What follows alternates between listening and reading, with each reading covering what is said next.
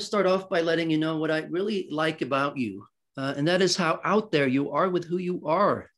You don't seem to hide behind an academic detachment. And I respect you mm-hmm. for that. I think that's a big deal. It's uh, it's unavoidable uh, to me. that's the best I can tell you. It's not something I thought up. Uh, it's just the way it is. I can't be any different. Yeah, when you think something is baloney, you say so. I mean, you even write a book about it. It, it, which is not, which is not to say that in my normal life I am so brutally honest uh, with people around me, and I, I, I have a minimum of so, of social skills, I think. Uh, but when it comes to these discussions, it's it's very close to my heart. So um, it comes very naturally to me as well when people put forward ideas that I think uh, are self-evidently wrong, uh, it's unavoidable for me to just say it, uh, and I say it. This is nonsense, and let me explain why I think it's uh, uh, nonsense. So it it may come across as um, I miss the word now again, and they they there, there are people in academia who call me the it's not the angry philosopher, it's something less uh, less offensive than that, but it's something in that direction. Um, so that that's where it comes from. I am I, I feel very passionately committed to the subject, uh, to the idea to the ideas that are being uh, exchanged and discussed and argued for, because I think um, philosophy is central to human life, uh, and and I think maybe arrogantly that people who do not think like me that philosophy is central are just estranged from themselves uh, and, and from life. I think philosophy is the primary human activity in a sense, since we've managed to extricate ourselves from you know the the normal pressures of having to find uh, food shelter. I mean we still fight that most of us still fight that but at another level not in that natural level where we used to be. One more time this thing about being estranged from ourselves and life. What was that? What did you say there I think, well, I, I, I believe to observe around me that um, some people are very distracted with um, insignificant and banal stuff.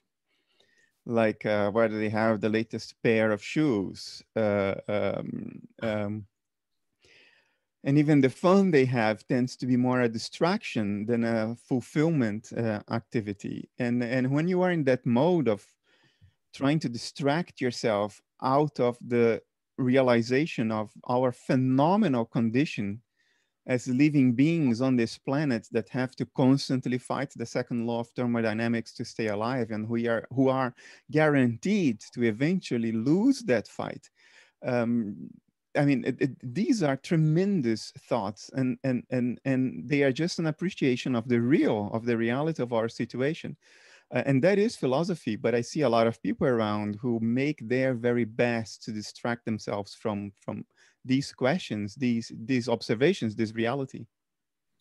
This is part of what I like so much about you. You, you seem to be a truth seeker through and through. The question of the truth of our lives, excuse me, seems to be really central to who you are. Very much. And uh, well, I, I think I end up seeking the truth, but my commitment is not to the seeking. My commitment is to is to truth ultimately, which is not to say that I think we, you know, monkeys evolved on planet Earth can e ever truly cognize every salient aspect of the truth. I don't think we can. I don't think we have any reason to believe that our cognitive apparatus has evolved to get to that point. Um, but I think what we owe to ourselves and, and to the rest of the planet and each other is to be honest about our best guesses regarding the truth. Mm. Um, if we already know enough to know that a certain narrative about the truth is flawed, fatally flawed, we owe it to ourselves, to each other, and to the planet to move away from that narrative and towards a better narrative, which will not be the absolute expression of the ultimate truth, uh, but it will be closer to it. So I, I, that is ultimately my commitment. I, I, feel through every uh, pore in my skin, every every every artery in my body that um, self-deception is not fine. Uh, uh, and we are masters at, at, self-deception. I mean, that materialism or mainstream physicalism is the main narrative about the nature of reality today, despite everything we know regarding the, the, the, the, the failed argument behind it, regarding the empirical evidence that contradicts it. And I'm not talking about anything paranormal, I'm talking about evidence from laboratories.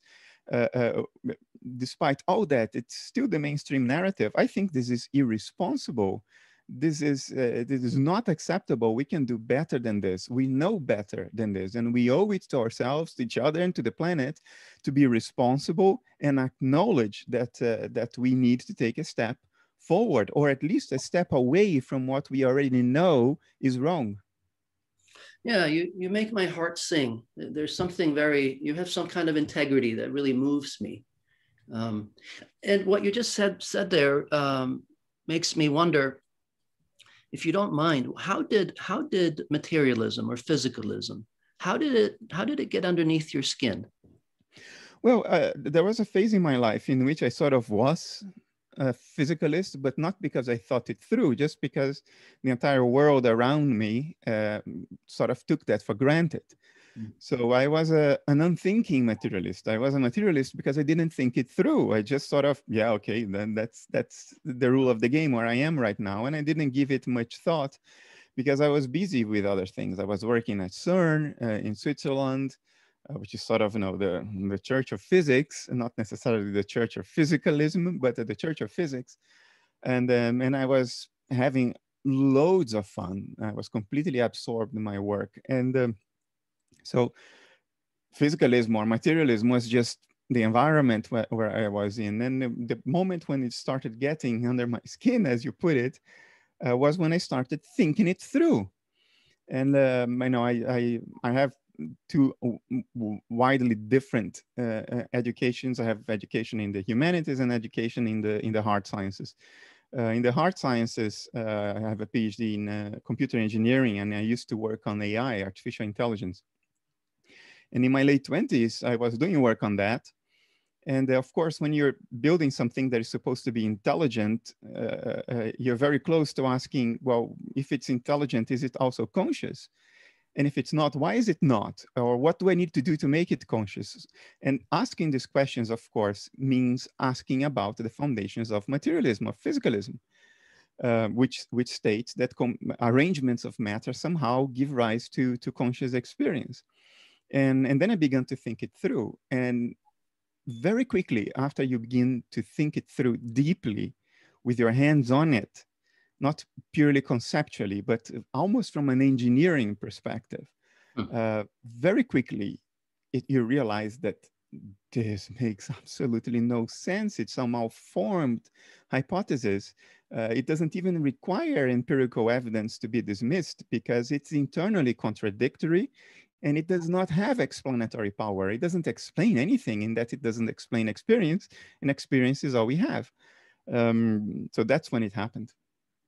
Just brilliant. Well, I think you said somewhere that you spent 10 years really thinking hard about this. Yeah. yeah, from my mid 20s to my mid 30s, um, I was um, trying to find an alternative for myself. I was not thinking about writing a book.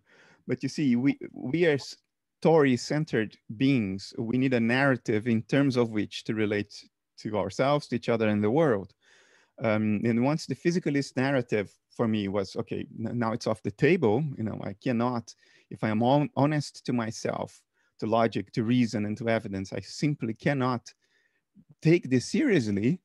Um, then I landed in a vacuum of narratives. And for a human being to not have a story in terms of which to relate to the world is is is not acceptable. It's not it's not a stable point. Um, you immediately start looking for an alternative narrative, and I did that for years. Uh, I think I landed on idealism rather quickly mm. because it you know it's it doesn't require much elaborate thinking. you know, basic reasoning is enough to to indicate the direction.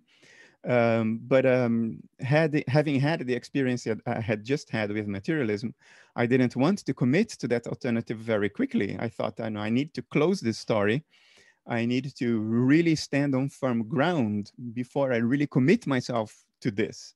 Mm. And that's what I did for 10 years. So only at a point in my mid 30s when I thought, okay, now now I am on solid ground. I feel pretty confident about this. Then I started writing and publishing came even later than that. Wow. And and Schopenhauer was influential, right? He had a role in his thinking had a role in in how you arrived to your positions. Not at that time. No, I didn't. I was not aware of Schopenhauer uh, at that time. Uh, I think um, the scholar who influenced me most from the very beginning was Carl Jung, oh, who yeah. I had read in my in my teens. Uh, so I think Jungian thought was in the back of my mind throughout, even if I wouldn't have maybe I wouldn't be able to report that to you back then. I wouldn't have known it explicitly myself, but I think it was in the back of my mind all the time. Schopenhauer came later, and Schopenhauer was a sort of a confirmation.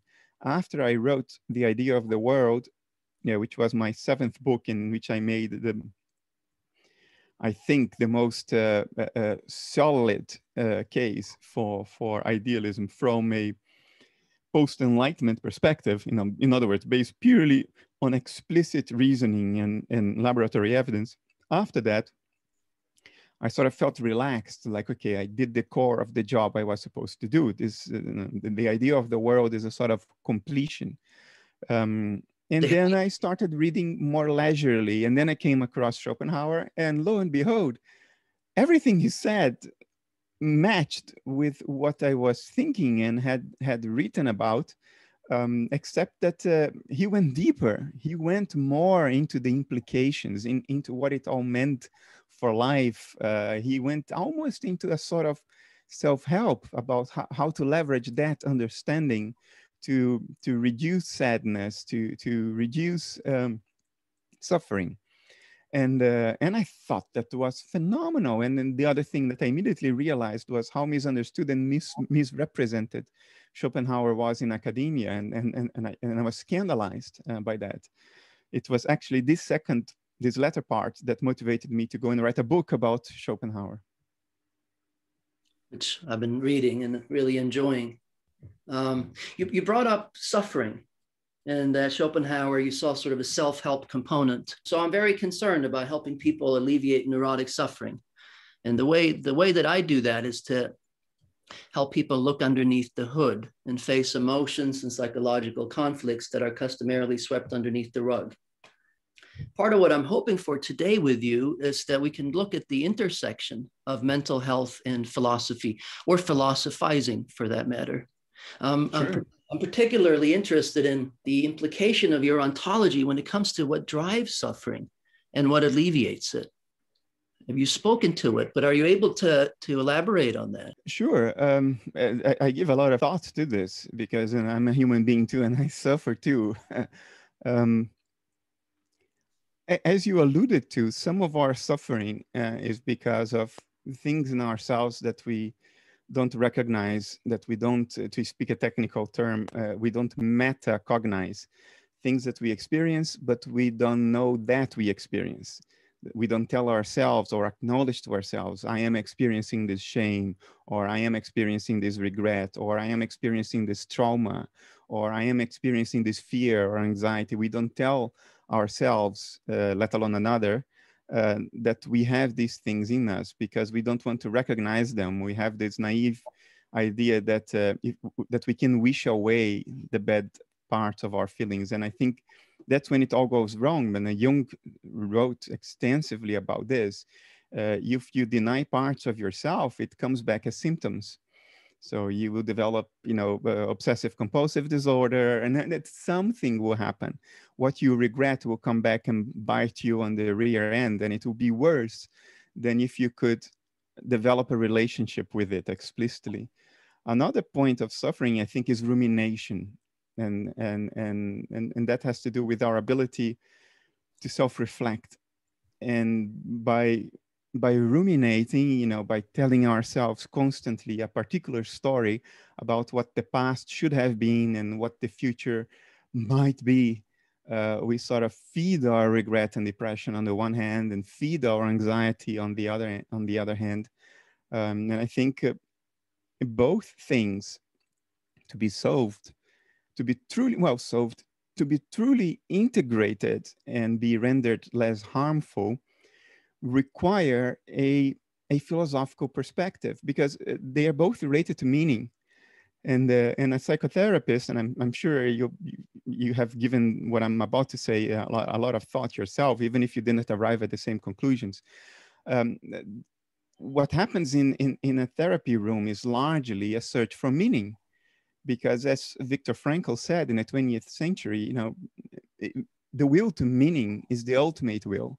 It's higher and above Freud's will to pleasure or, or, or Nietzsche's will to power. Um, the will to meaning is, is the ultimate. it, it is the ultimate, not a panacea, but it, it is the holy grail of psychology. If you can find meaning in what you're going through, you integrate it in your life. You sort of develop a mature relationship with it. You don't necessarily st stop pain, but you stop ruminating suffering. Um, but meaning is not something that the therapist can can just have the patient give to the world because it becomes a form of explicit self-deception you know uh, we cannot project meaning onto the world and expect that that will be healing because it it's you, we are conjuring up the meaning and then trying to believe that it's real. I mean, it doesn't work. For the meaning move, which is the ultimate move to to really be effective, I think it has to be grounded on a I'm going to use the word belief, but it has to be grounded on a, on a belief that is substantiated. In other words, we have to see that life and the world have intrinsic meaning in and of themselves, and not only the meaning we want to project onto them. The latter is a form of self deception, the former is a reality. If we see that reality, the reality of the intrinsic, inherent meaning of, in the world, in every event of our lives, and, and in our very lives, if we see that intrinsic, real meaning, then the therapist can perform the alchemy that uh, he or she is expected to perform. Um, and in, in that sense, I think psychology and philosophy, particularly metaphysics, are joined at the rib. Uh, uh, uh psychology, in fact, is a product of philosophy. They were not separated. The 20th century separated them artificially because our philosophy went down a path that the psychologists couldn't follow because it was a nihilistic path. So we psychologists had to use a Caesar and, and cut the connection because otherwise they would be dragged down to hell with our metaphysics, which was going, going to hell and now has landed in hell. Um, but uh, if our metaphysics finds its path back I think we'll be in a position to be able to re-acknowledge that psychology and philosophy are intrinsically joined at the hip, and it will be okay to acknowledge that again. Wow, wow, wow. The divorce between the two, are you at all referring to Freud sort of distancing himself from Nietzsche and not, not acknowledging his influence? Is that... that, that one example? That's just one example. Even Jung, to whom I have probably the greatest respect, uh, uh, he often tried to separate what he was saying from philosophy quite explicitly. He, he, he would explicitly say, I am a scientist, I am not a philosopher. Uh, and then other times he would say precisely the opposite. Towards the end of his life, he would acknowledge he, he had done philosophy all the way along. But in his earlier days, when he was professionally active, he explicitly tried to distance himself. And, and, and the reason they did that was several fold. Um, in the case of Freud, who was a physicalist, he didn't have to divorce himself from philosophy because philosophy was uh, physicalist, because he himself was. And his whole psychology was, to some extent, a bit nihilistic. Uh, um, but he distanced himself from philosophy because philosophy itself was becoming associated with uh, unsubstantiated speculation uh, which is, of course, not what analytic philosophy is today. Uh, it's not even what philosophy arguably was in the time of Freud. We already had William James, for instance, uh, and Schopenhauer, uh, who were not doing unsubstantiated philosophy. They were both grounded in science. Um, but uh, th- there is this notion that philosophy is unsubstantiated speculation, more akin to theology than to science, because it was a, an echo of the late Middle Ages with scholasticism. And scholastic philosophy was a type of philosophy that already started from the conclusions, the conclusions of the scriptures and we and then tried, tried to find a substantiation to to to justify those conclusions. And that's not how philosophy is done. You don't start from the conclusions you start from data and then you derive a conclusion from that. So this link in the west um, by the time of freud was already over 500 years old and it was very strong uh, even though scholastic philosophy was not nihilistic, on the contrary, it was meaning affirming uh, it was uh, unsubstantiated. So that was Freud's motivation. Jung's motivation was the opposite.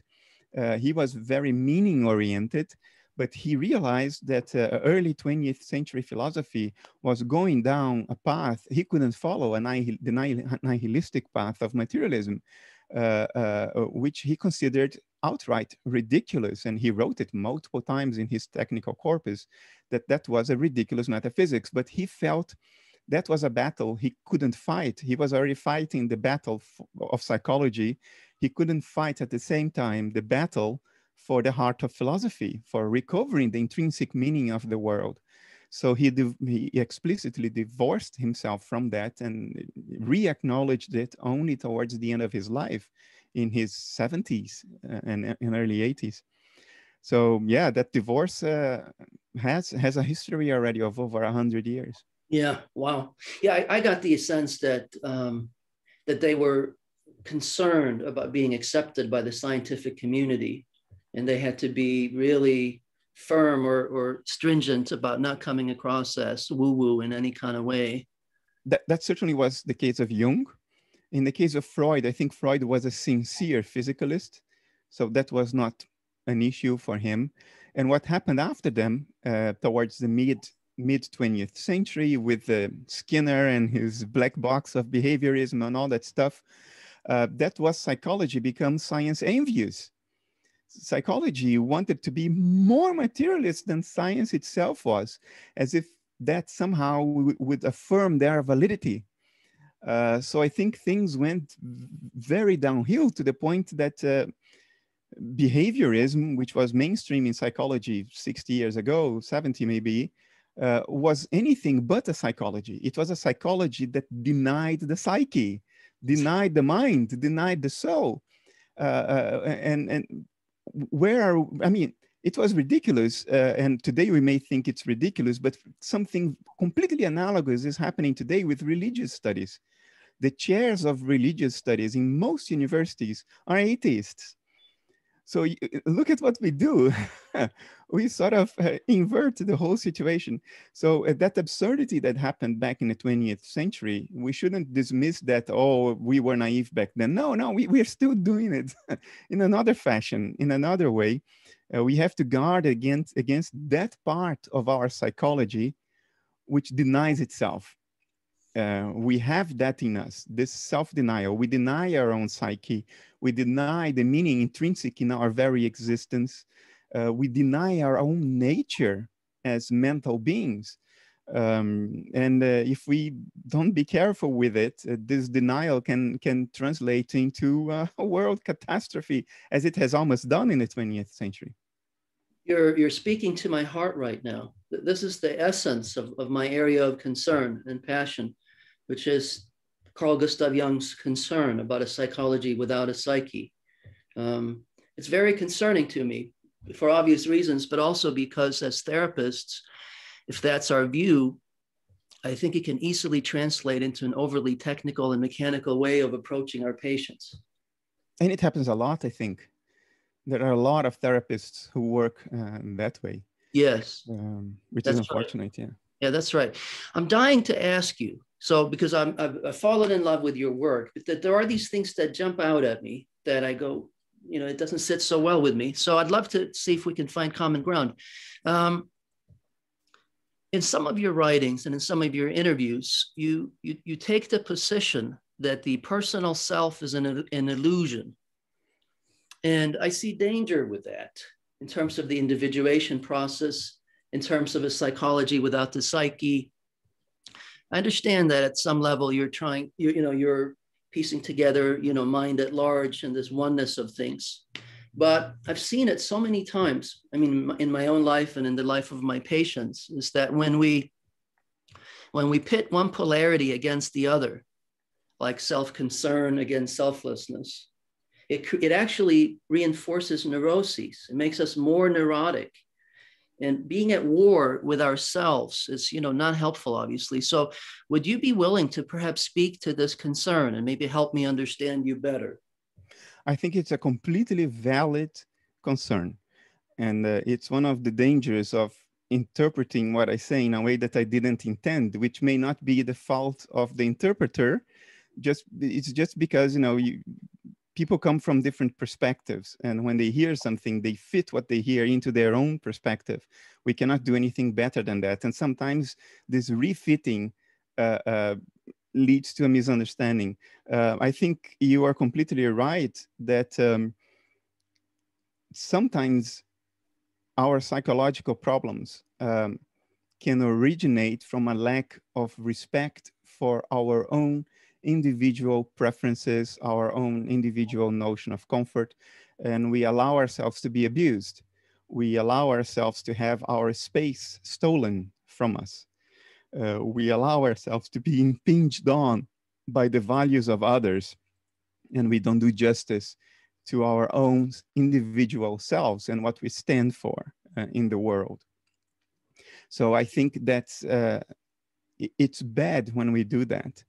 Uh, um, respect for an, a certain notion of our individual agency is, is critical for psychological uh, health. So let me, let me go all the way out and sympathize entirely with what I think you mean uh, when you said that. So what did I mean then when I said the personal self doesn't exist? What I mean is it doesn't exist as a independent agency. Uh, I think what we call our individual selves are forms of manifestation of nature. Um, what we call uh, a person uh, is a particular way nature is expressing its potentialities for whatever end. Uh, as such, we just are nature in motion. We are something nature is doing uh, through us. We do not exist as cut off agencies that uh, inhabit uh, an alien world, we are that world in a particular form of manifestation. And understanding that in the way I understand, I think is very, very conducive to psychological health because it allows us to not take ourselves too seriously, which can also be psychologically detrimental. For instance, we take ourselves too seriously when we beat ourselves up in regret of something we've done in the past. And we forget to be kind towards ourselves as fallible expressions of nature that uh, we are not know-it-alls and uh, we, we, there are many things we don't know. And, and it's okay to be compassionate for our own lack and our own faults and weaknesses and shortcomings. Um, so it is in that sense that I think uh, we should not take ourselves too seriously. Um, and, and the notion of fundamentally individual agency, I think is damaging as well, because it puts such an unnatural and unrealistic demand uh, on ourselves. Uh, um, I, I, I don't think that is justifiable by theory or healthy from a psychological point of view. Now, as expressions of nature, we should be respected because nature is doing something through us. So, although we are not individual agents, there is something happening through us that has its natural value. So, to completely disregard that is also not fine. And that's what I think people do when they become, quote, selfless and they allow their space to be intruded upon. They allow their values to be disrespected. Wait, what is uh, it that they do? What is it that they do when they when they allow that impingement and abuse? They are then not recognizing the value of what nature is doing through them. Ah. but that doesn't mean that they are fundamentally individual agents. Uh, uh that kind of self-respect is not, it, it, doesn't rest upon this notion that we are fundamentally individual agents. It only requires respect towards nature and a recognition that we too are part of nature. Okay. So, so you don't think that creates a polarity, a binary not in the way I, I myself see it. Now, of course, I'm a fallible human being. And when I communicate it, I don't communicate it with, with all the nuance and subtle, subtlety that I feel myself. Yeah. So I fail. I consistently fail in communicating. And I've come to accept that as part of the game. But the way I experience what I'm trying to say uh, uh, entails no conflict of polarities. No, not, none at all.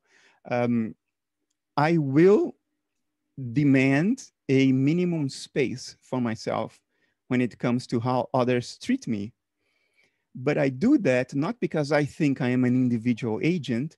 I do that out of respect for what nature is trying to do through me. I respect the tool, not the individual agent, which I think doesn't exist. I respect myself as a particular form of expression of nature. I take that seriously because I think nature doesn't do anything cavalierly. Um, and, and as that form of expression, I will express it in such a way that there is space for that expression, if you know what I mean. I will not uh, willingly accept others from preventing that expression. But while doing that, there is no idea in my mind that I am an individual agent that takes himself very seriously. No, what I take seriously is nature doing what it's doing through me. You see yeah, what I mean? I do. I do. And I think I'm grokking you. It, but it so easily lends itself to this interpretation around self denial and, and being at war with our basic instincts sort of somehow that there is something wrong with having self concern, as if self concern needs to be divorced from concern for others, as opposed to a, a dialectic. And I'm glad you brought up this point because uh, now I see how dangerous it is uh, a possible misinterpretation of what I, of what I, I am trying to get across.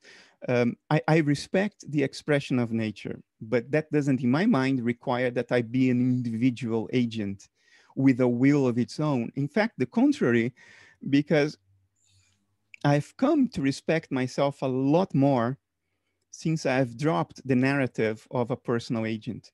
And I tell you why. I no longer fight what nature is trying to do through me. Um, in, in, in philosophy, um, some philosophers in, in classic philosophy since the time of Socrates um, philosophers would talk about a daimon. And by that, they didn't mean a demon, even though the word is derived from daimon. A daimon is not malicious. A daimon is morally neutral. It's just an aspect of yourself that you don't identify yourself with. It's the voice in the back of your mind telling you what to do or what not to do. And sometimes that, sometimes that goes um, head on against the ego's intent the executive ego may want one thing, but the daimon, that big voice in the back of your head, the back of your mind, is saying the opposite. Uh, and, and that leads to conflict because we take the executive ego seriously as an individual agent that is separate from the voice of the daimon. And at least in my own life, that was the conflict. The conflict was precisely my narrative that the executive ego was an agent as opposed to just one voice in a in, in a chorus. Oh, and, but, that's, but that's a different paradigm. What you just said there, isn't it? To to have the to to say that the ego is one voice of many is one thing, which I can really get behind. But to say that it needs to be seen through as an illusion in favor of the daimon, it seems really like you're creating conflict. Um, no, but, but uh, that's not what I meant. Uh, I don't mean that it's an illusion in favor of the daimon. I think the daimon too is an illusion. Yeah. I think all the characters uh, are illusions in the sense that they are not individual agents in and of themselves. They are forms of expression of only one subjectivity, only one field of phenomenal subjectivity that underlies all nature and it expresses itself through many voices. So I take all voices equally seriously in the sense that I take them all to be illusions in the specific sense that uh, they are just expressions of one transpersonal field of subjectivity. Uh, but by taking, as I did before, the executive ego as an individual agent and the daimon as another, I would pitch one against the other in an inner war. And I have done that for years. For many years, for many years, I struggled against the daimon trying to assert the will of the executive ego. And if my experience is representative, then I can tell you with very high confidence, it's a struggle that cannot be won um, you cannot win from nature if you if you perceive yourself as an agent separate from nature and you go to war against nature not death outside nature but the nature in you you will lose that because the executive ego is like a rower in a little boat in the middle of the atlantic uh, while the greatest storm of the century is happening now, you may row in a certain direction, but if you think the boat should go in the direction you're rowing, you are delusional because there are much greater transpersonal forces uh, at will within you.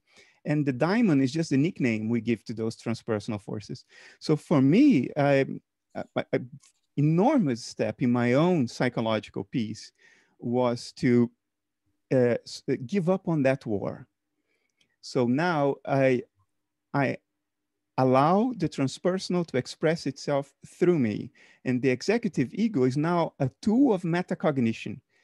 The executive ego observes, sometimes complains, sometimes suffers, well, often enough suffers, but his primary function is to observe and cognize. But it's you, though, isn't it? It's not apart from nature all of it is us. Right the true our true selves. My yeah. true self is the same as my subjectivity when it's devoid of narratives is the same as the subjectivity in you. So that's what i meant by uh, by understanding that we are not individual agents fundamentally.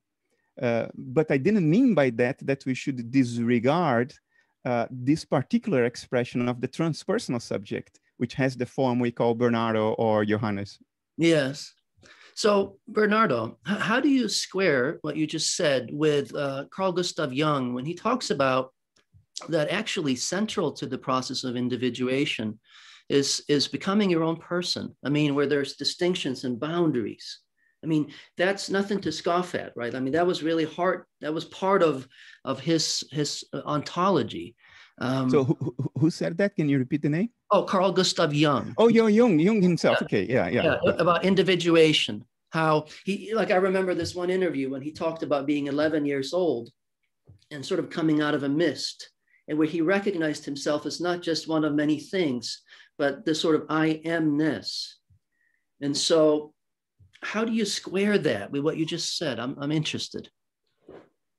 Um, what uh, Jung described when he came out of that mist, if you if you read it carefully, you realize that what's happening there was the rise of his metacognitive ability, his ability to not only experience but to know that he was experiencing, and and he called then the I am.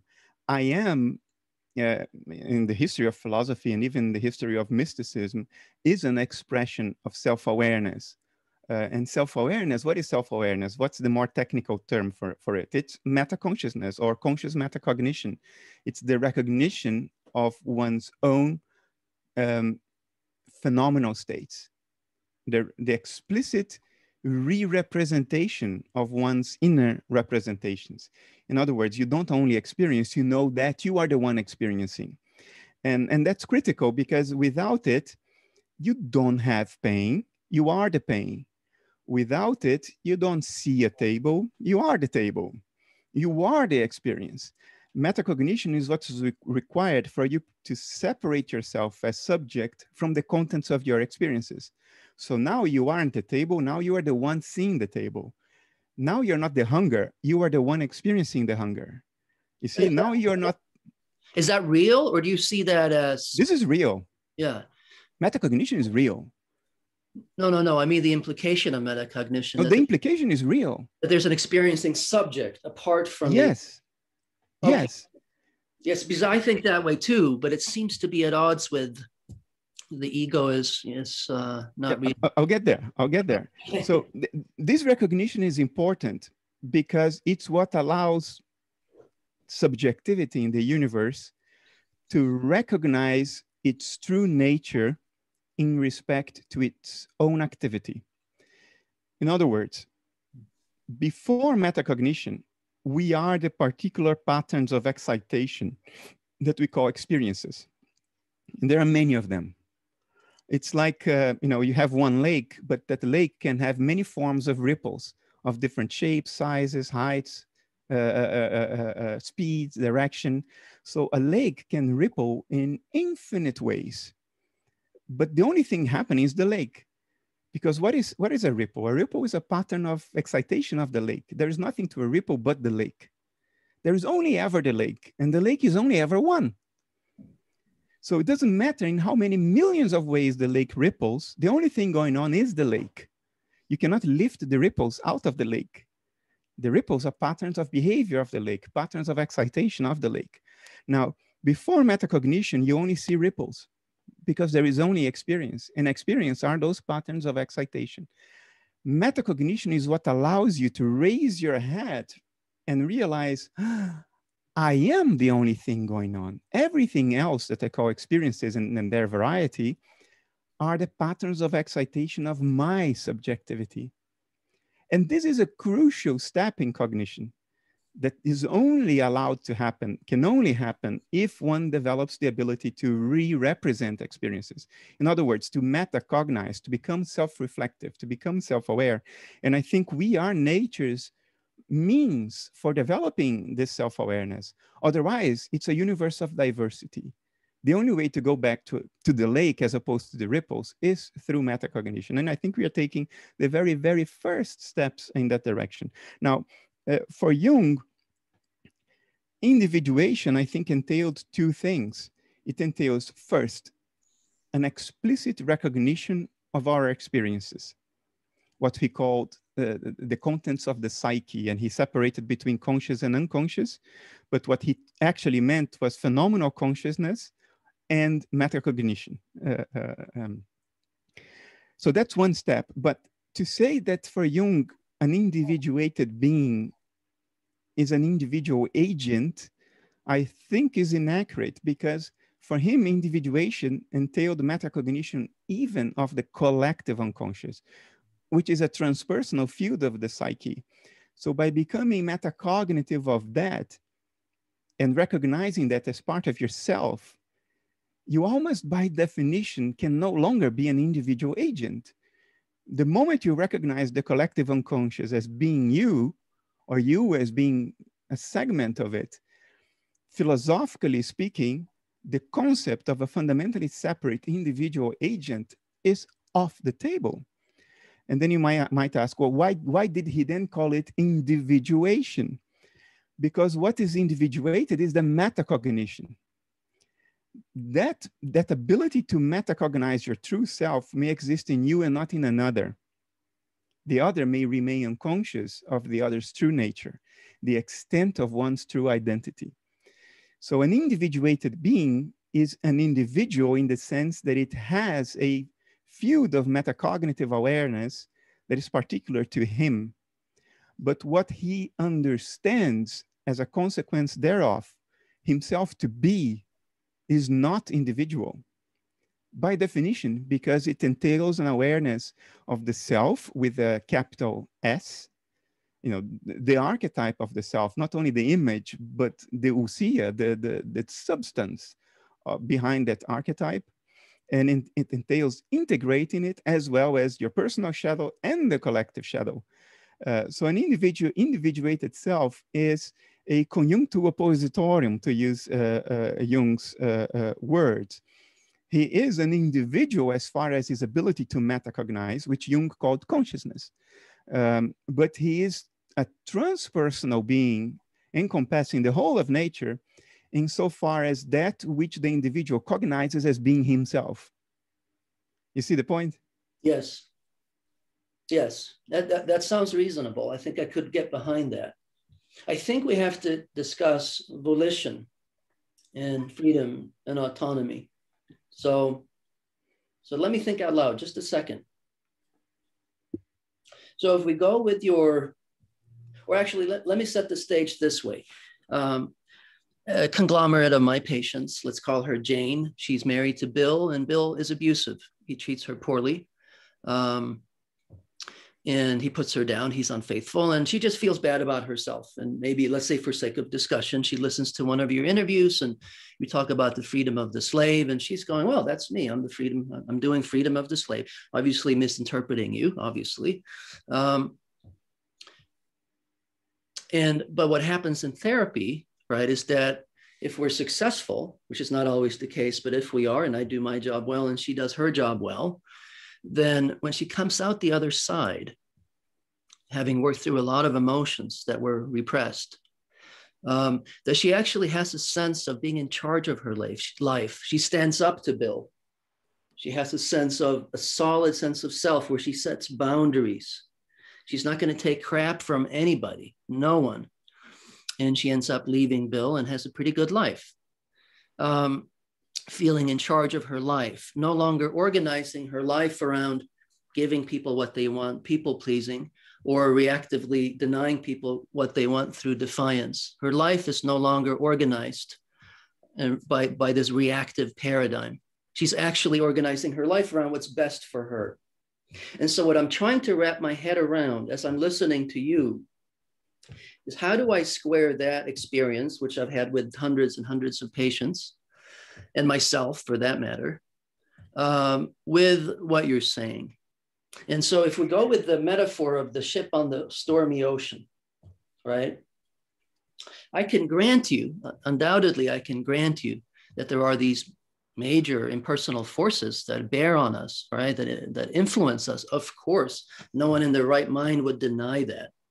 But my concern is that that narrative or that view denies the fact that we can actually, if we put our minds to it, we can at least keep the boat dry. We can take buckets of water and get it out of the boat. We have some agency we have some control over we can make the journey more enjoyable by by the by the dimension of blood sweat and tears meaning effort and i'm concerned my concern is that the way you frame it it, it sort of minimizes the importance of that dimension. I'm sure I misunderstood you, but that's how it receives in me.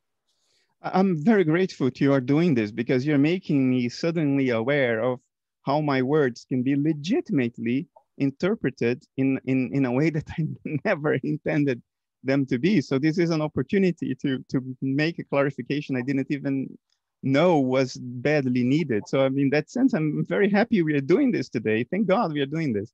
Um, look, I, I, the freedom of the slave, what I meant by it, if I frame it in the metaphor of Jane's case, uh, with Bill being her former husband, an abusive former husband, this is how I think the metaphor would be correctly interpreted. Jane is a slave, but Bill is not the master. The master is within Jane. The storm in the ocean is within Jane. And so there is a sense in which the recognition of the slave within, but also the master within and the ocean within is, a, is an expression of self-respect. If you say, if you consider the self to be everything that's happening within, which goes far beyond the executive ego, but includes all kinds of transpersonal forces that are expressing themselves through what you call you, uh, respecting those transpersonal forces as they express themselves through you is critical. And it's precisely what the metaphor is trying to do.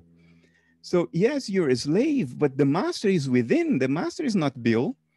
Yes, you're a boat adrift in the ocean, but the ocean is within. It's not the market pressures of the economy outside you. Know what I mean? Mm. So, eh, to self respect in the way you portray it to your patient is precisely to recognize the master within, to recognize the ocean within.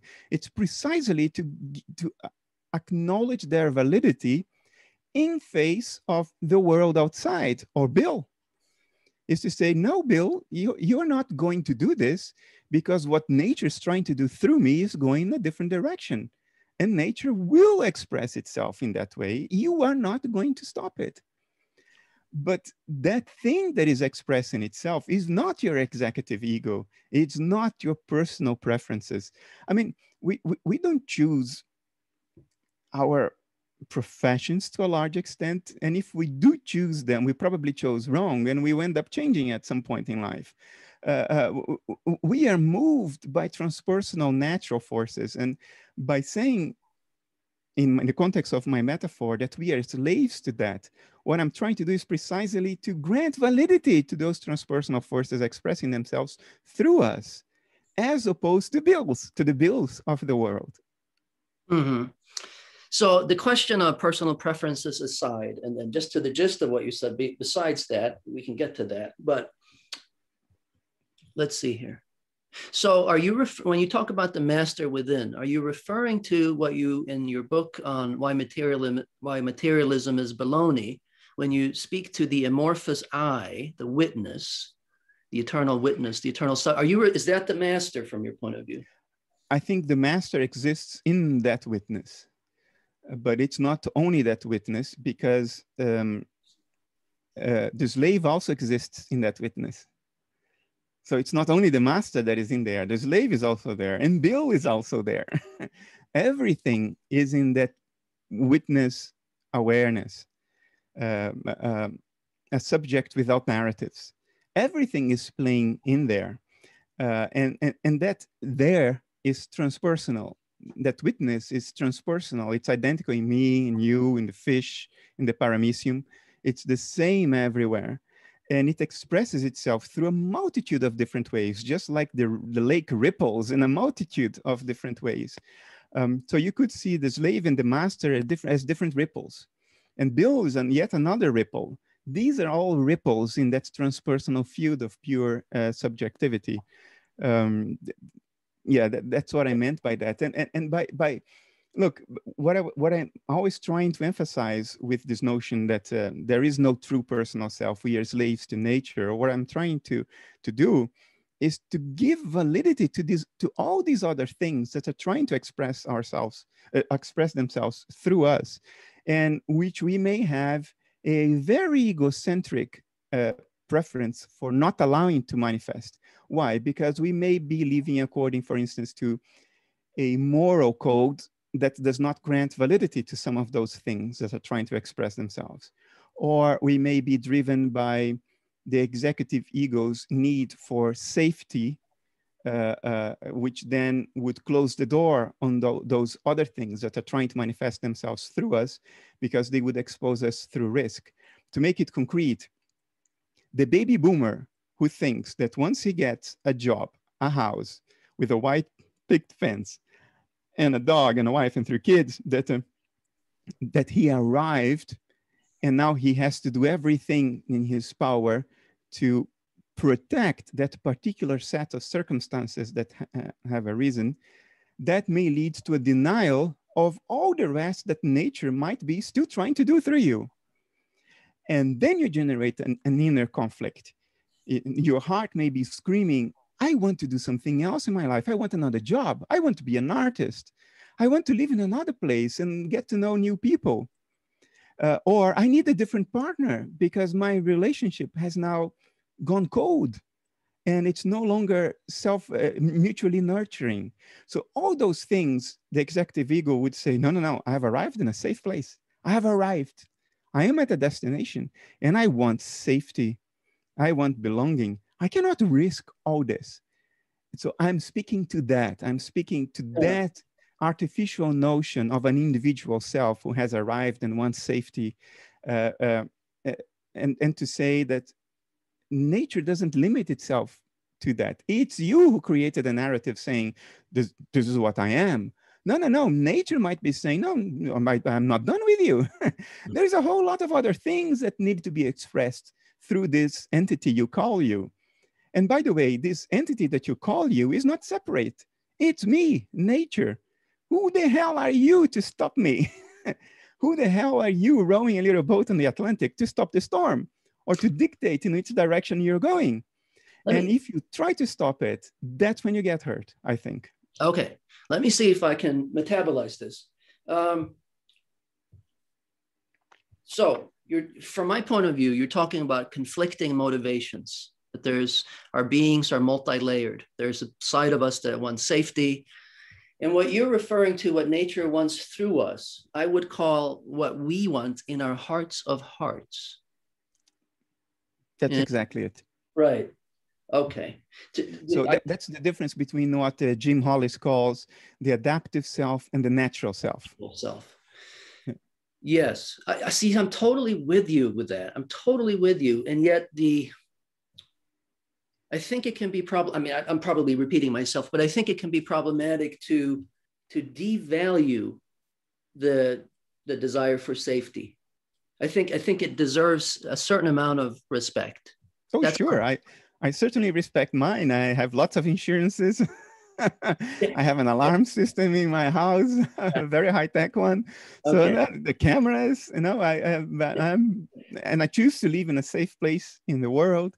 So I, I I don't mean to devalue that. I think these are all parts of the spectrum. Um, so what I'm trying to say is that for the same reason that I don't want to devalue our need for safety, I also don't want our need for safety to devalue the rest of the natural self that wants to express itself through us. Totally fair, totally fair. But I'm not, I'm not convinced that the side, the side of um, this individual that wants to hang on to the safety of the home, that that is necessarily attached to narratives. That seems like an instinctive need for safety. You're you're you're marrying that with with sort of being lost or being subscribing to certain narratives. That's not obvious to me. Am I missing something? No, no.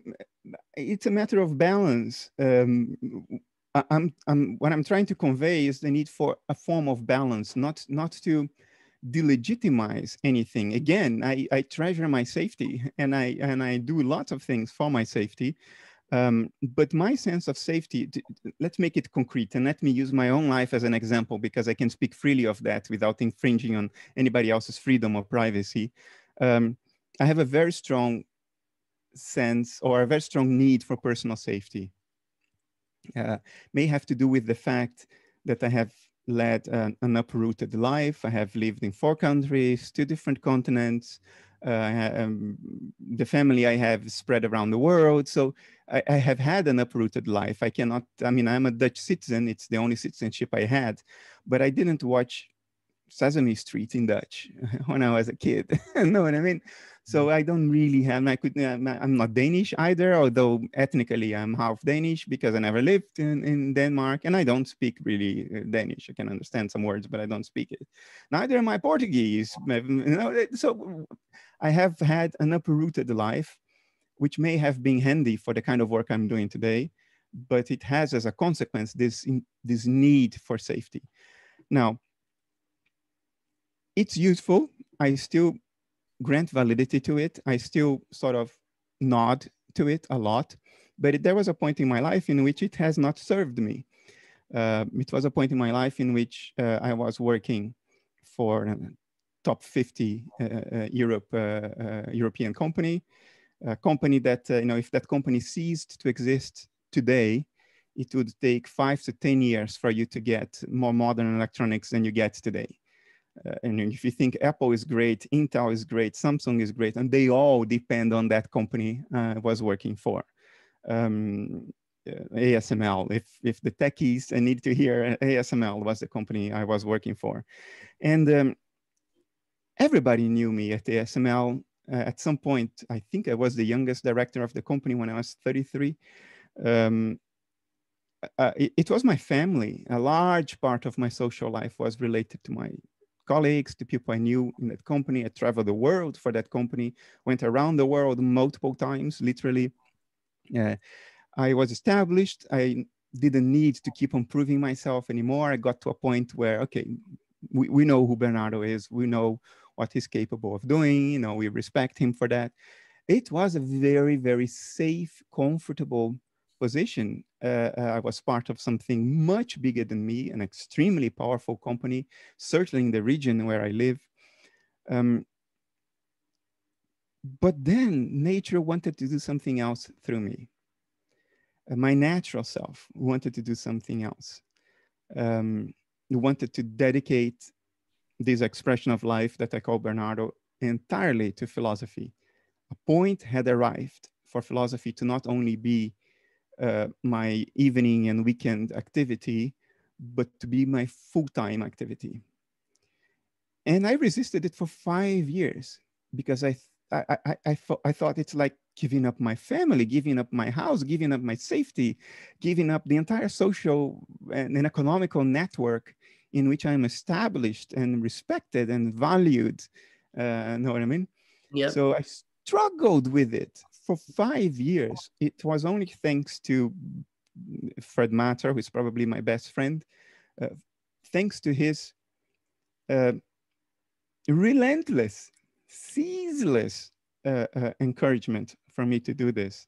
He never stopped, never stopped. Year in, year out, he never stopped. Wait, what do you mean? What, what did he do? Fred, Fred would say, Bernardo, this is where your life is meant to go. Oh. If you don't see that, you're blind. Can you not see this? He mentored yeah. you. Yeah. Yeah, for, for five years, mm. uh, relentlessly. Uh, not overwhelmingly, not taking my space away, but he wouldn't miss a chance to confront me with this because he knew I knew. I just didn't want to know, if you know what I mean. Mm-hmm. He knew that I knew. So he was always putting the mirror in front of me. And, and then it took more than that. It took a personal tragedy. It took, well, personal tragedy. If I tell what it is, most people will think, well, what do you mean by tragedy? I had an accident with my alarm system. Um, and I already had uh, tinnitus, um, which was very high, but then it exploded. It's like I, I today I have two dentist drills, like I have one on the right, one on the left. It's like a dentist drill three meters away from each ear. And, uh, and that happened. And uh, twice I thought of killing myself because you know doctors just say, well, there is absolutely nothing we can do about this. And that thing is with you day and night. And if you uh, close, shut your ears, you only hear it better because the sound is inside. Um, and it just brought me to the edge of total despair. Um, and it was in that period of weakness, after I sort of recovered my footing a little bit, I began to learn how to live with it, but I was still very fragilized, very, very fragilized. Um, then Fred again uh, came to me. His timing was perfect. He just came to me in the exact day in which I was, you know, well enough to entertain a conversation and think about the future as opposed to pulling the plug on myself but uh, not well enough that all my defenses would be back in place. Um, so he went in through the crack on the wall right there. Window of opportunity. Yeah. And then he said, It is now or never. Hmm. This is your cue. Hmm. This is the time. Hmm. And, and then I did it. Hmm. So, and, and now that I've done it, it happened last year, uh, over a year ago it is so obvious to me. I feel it in every cell of my body that that's what had to happen. The storm and the winds and the currents were flowing that direction. But I was a very, very strong rower. And I kept on rowing, exhausting myself, but I kept on rowing against the current. And I managed to keep the boat in place. but it was draining my energy. It was draining the life out of me. And I was doing that because my executive ego was attached to that sense of safety I had in, in the environment where I was. And I thought, this is the destination. What am I doing leaving after I have worked for 40 odd years to arrive? No, so all of those narratives of safety and security and success and money um, and status, uh, because when you are in a company, you have reports and you feel powerful because you tell people what to do. And all of those narratives were precisely what was, what was preventing me from just allowing nature to express itself through me the way it wanted to do. Wow, wow, wow. I, mean? I do. I do. And I have a number of reactions. The first one being that I feel closer to you. I'm very honored to, to be that you give me a window into this. It's very honoring. Uh, but wow, so wow, let me gather my thoughts here. So I think I'm seeing something important, and you please weigh in. It seems to be a question of vantage point, where you're looking from. Yeah. So, from the vantage point of what you're calling the executive ego or the, the, the disciplined rower, from that vantage point, I can grant you that it's about surrender. But from the vantage point of your heart of hearts, it appears to be more about, well, let me, let me put it this way there appears to be at least a component of willpower or autonomy or taking charge of your life. And so it, it, I think it depends on where we localize the vantage point for the for how we are talking about this. Absolutely. And look, I'm I'm far from a perfect uh, communicator, uh, Johannes. I, I am like everybody else, a product of my life, of my history. I happen to be uh, an individual that has always had an extremely strong adaptive self, a very strong ego. I lost my father at 12, and, uh, and my mother tells me today, I was amazed how easily you got over that and she doesn't know how much I suffered. I suffered, uh, how devastating, absolutely devastating the loss of my father was to me, because he was the only member of my family I identified with. Everybody else was alien, including my mother. My mother is still an alien to me. I do not understand her at all, at all. And she, and she acknowledged that. She says, know, from the outside you may look Portuguese, but from the inside you are your father all the way through. So, which is her way to to sort of offend me. Um, but uh, from her point of view, what she saw was my adaptive self asserting himself, and uh, and I ha I have always had a very strong will. Uh, um, what you would call willpower. You know, I've never backed off from an opportunity because of fear, because I figured, you know, I already faced the worst. What else can happen that will beat that? You know what I mean? So I went out to the world. You know, I, I, I left home at basically 17. Um, and I was like a leaf in the wind. I was always in a different country, not only to live, but to travel through. Um, so I had a very, very hard-headed, very strong executive ego, very well adapted, very, very powerful. Um, so for me, from my perspective, I have to speak of surrender because that's the point of view that I have had. Yes. I have had the point of view of a very strong individual who was suffering because he was very strong in his adaptive schema, schemes. And I had to surrender to my natural self. So that, that's from the that's the point of view I speak to, but I acknowledge yes. immediately to you. And of course, as a therapist, you see all kinds of people. I don't. Um. So I fail in, in emphasize what you are trying to, to emphasize today, which is there are a lot of people who are coming from the opposite yeah. extreme. Yes. See, what you're calling um, this executive ego and the, the rower, uh, see, in my ontology, I would call that our the defensive structure. They're defense mechanisms. I'm totally comfortable with that. Okay, okay. And do you grant me that the natural self, or what I've referred to as what's in our heart of hearts, that that part of who we are is not impotent? It's the most powerful thing that you can conceive of. It's it's sheer power it's like the lava erupting from a volcano. Try to plug the volcano and see what happens. Uh, it's pure power. It's it's mm-hmm. it's the daimon. It's not for nothing that the Greeks gave it its uh, its name. It is the daimon. It is irresistible. Uh, fight it, resist it, and all you will succeed in is suffering and getting hurt. Yes, it's the it's the amorphous eye, the witness that you refer to in the book, Why Materialism. It, it's an expression of it. It's an, okay. So you would also grant that that witness or that I is also not impotent. It's the only thing that is potent. Yeah. yeah. There's nothing else that has any agency. Yeah. See, this including is... the executive ego. It may seem to have agency, but it doesn't. It, uh, you know, another, another metaphor. Uh, the executive ego is a person with a, a cork trying to plug an erupting volcano.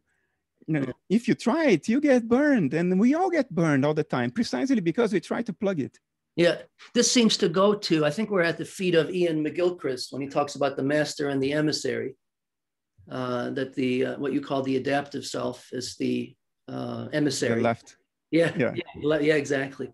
Um, this is so helpful because uh, it, it's helping me make sense of what you're saying, but through my framework, in the sense that what you're referring to are is what I think of as as defense mechanisms, which when that rules the our lives, when that's in charge, we're miserable. We're we're psychically crippled. When the adaptive self rules over the natural self, we are miserable. So when I, when I say that um, there is no personal or individual agency from the perspective I'm speaking of, which is given by the life I've led. And of course, I project that life uh, unconsciously onto everybody else, although I know rationally that that's not the case. The message I'm trying to convey is the following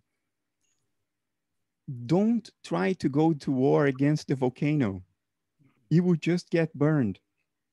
Yes. Accept that uh, that little thing you think can fight a war against the volcano isn't even there. It's just a tool.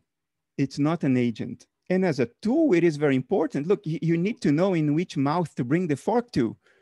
So you, you need some kind of individual self-awareness uh, in order to be able to live. That's a tool of nature. Nature is using your self-awareness to go somewhere that is completely transcendent as far as we are concerned. We, who, are, who are we to cognize where nature is going? We have no idea, but we are tools of it. So it, it's a very important, in my, at least for people that come from where I came psychologically, I think it's crucial for them to make this distinction between a true agent and a true tool. Mm-hmm. Because seeing the executive ego as a tool is critical um, because it allows nature to unfold and it also keeps nature in check in the following sense. Um, we all have shadow sides, sides, uh, personal and collective, and we are very fond of projecting it uh, elsewhere because we don't recognize that in ourselves. I think the ego, for instance, the conscious metacognitive ego is important for upon recognizing our shadow in the process of individuation and acknowledging the shadow as something that exists within us, the ego is an important tool to say, I recognize you, but I shall not give you free rein. Now, your freedom will control. Yeah, yeah, exactly. But these are the activities of a tool, not the activities of a fundamentally separate agent. Because the moment you see yourself as a fundamentally separate agent, now the rest is the opposition. But the opposition is huge, it's all encompassing and overwhelming. And we go to war against it, thinking that somehow we can win, that we can achieve control of life. We, we can't, we are not in control, we have never been. Yeah, but Bernardo, that that which utilizes the tool I think it really deserves to be acknowledged as something real uh, and not there's just not simply an impersonal process, uh, a, a, result of biochemical processes. They're, oh. they're, you know what I mean? Yeah, but that's that's the whole theme of every book I have ever written. That uh, yeah. subjectivity is the only thing that really exists in and of itself. It's not a derivative phenomenon. It's not the product of, of uh, uh, uh, biochemistry. Um, and, and I even go as far as to say that the tool is self-aware. But the tool tells itself a narrative of being that is incompatible with the reality of the situation. Okay, that that I can get behind. That's that kind of that makes good sense. I mean, and and to me johannes it has been Mm-hmm. such a, a relief to understand that what i have the knee-jerk reaction to consider to be what i am in other words my ego to understand that it is but a tool a self-aware tool but but a tool. It's here to serve. It's not here to dictate. And it and it tries to be king but that only hurts it because it's setting itself in opposition against unsurmountably powerful forces of a transpersonal nature from its perspective, transpersonal from its perspective. yeah, that's it. Right. So that's the freedom of the slave I, I, I talk about, a self-aware slave, um, but a slave who plays a monitoring role. It doesn't give free rein uh, to the shadow side. It doesn't let things run amok, but it doesn't try to bottle up the volcano either. It doesn't try to cork the champagne after it's open, um, because that's like swimming against the storm, swimming against the currents. You will eventually lose, and you just get hurt in the process. So I mean, insofar as language goes, this this this adds up for me. But but I think it's also important to underscore that at some level, this tool, the executive functions and so forth, they're they're not actually apart from the experiencing subject. It's not, you know what I mean? Nothing is apart from the experiencing subject. Uh, I think what we really are is what we know we are, but uh, just our conceptual narratives contradict that. We are pure subjectivity. If we tomorrow went completely amnesic and we would no longer have a personal history, we would still be what we are, even though nothing uh, in our narratives of self would be applicable anymore because you no longer know your name, you no longer know when you were born, where, where you live, what you do. All those things that we consider to be what we are would be off the table if you went completely amnesic tomorrow, but we would still be that subject we are. And my contention is it's the same subject in you. You and I, without the narratives, are exactly the same thing, the same primordial, formless sense of self. And I think everything else happens within that sense of self. So there is a sense, a very real and the only real sense in which we are the whole thing. Yeah. But Yes. that we that that is the whole thing is not an individual agent. That's what I'm trying to get across. Yeah, it's it's so fascinating. So Bernardo, uh, if we go with this premise of amnesia and you there is no narrative because you forgot everything, would it be fair to say that you would still put the food in your mouth and not my mouth?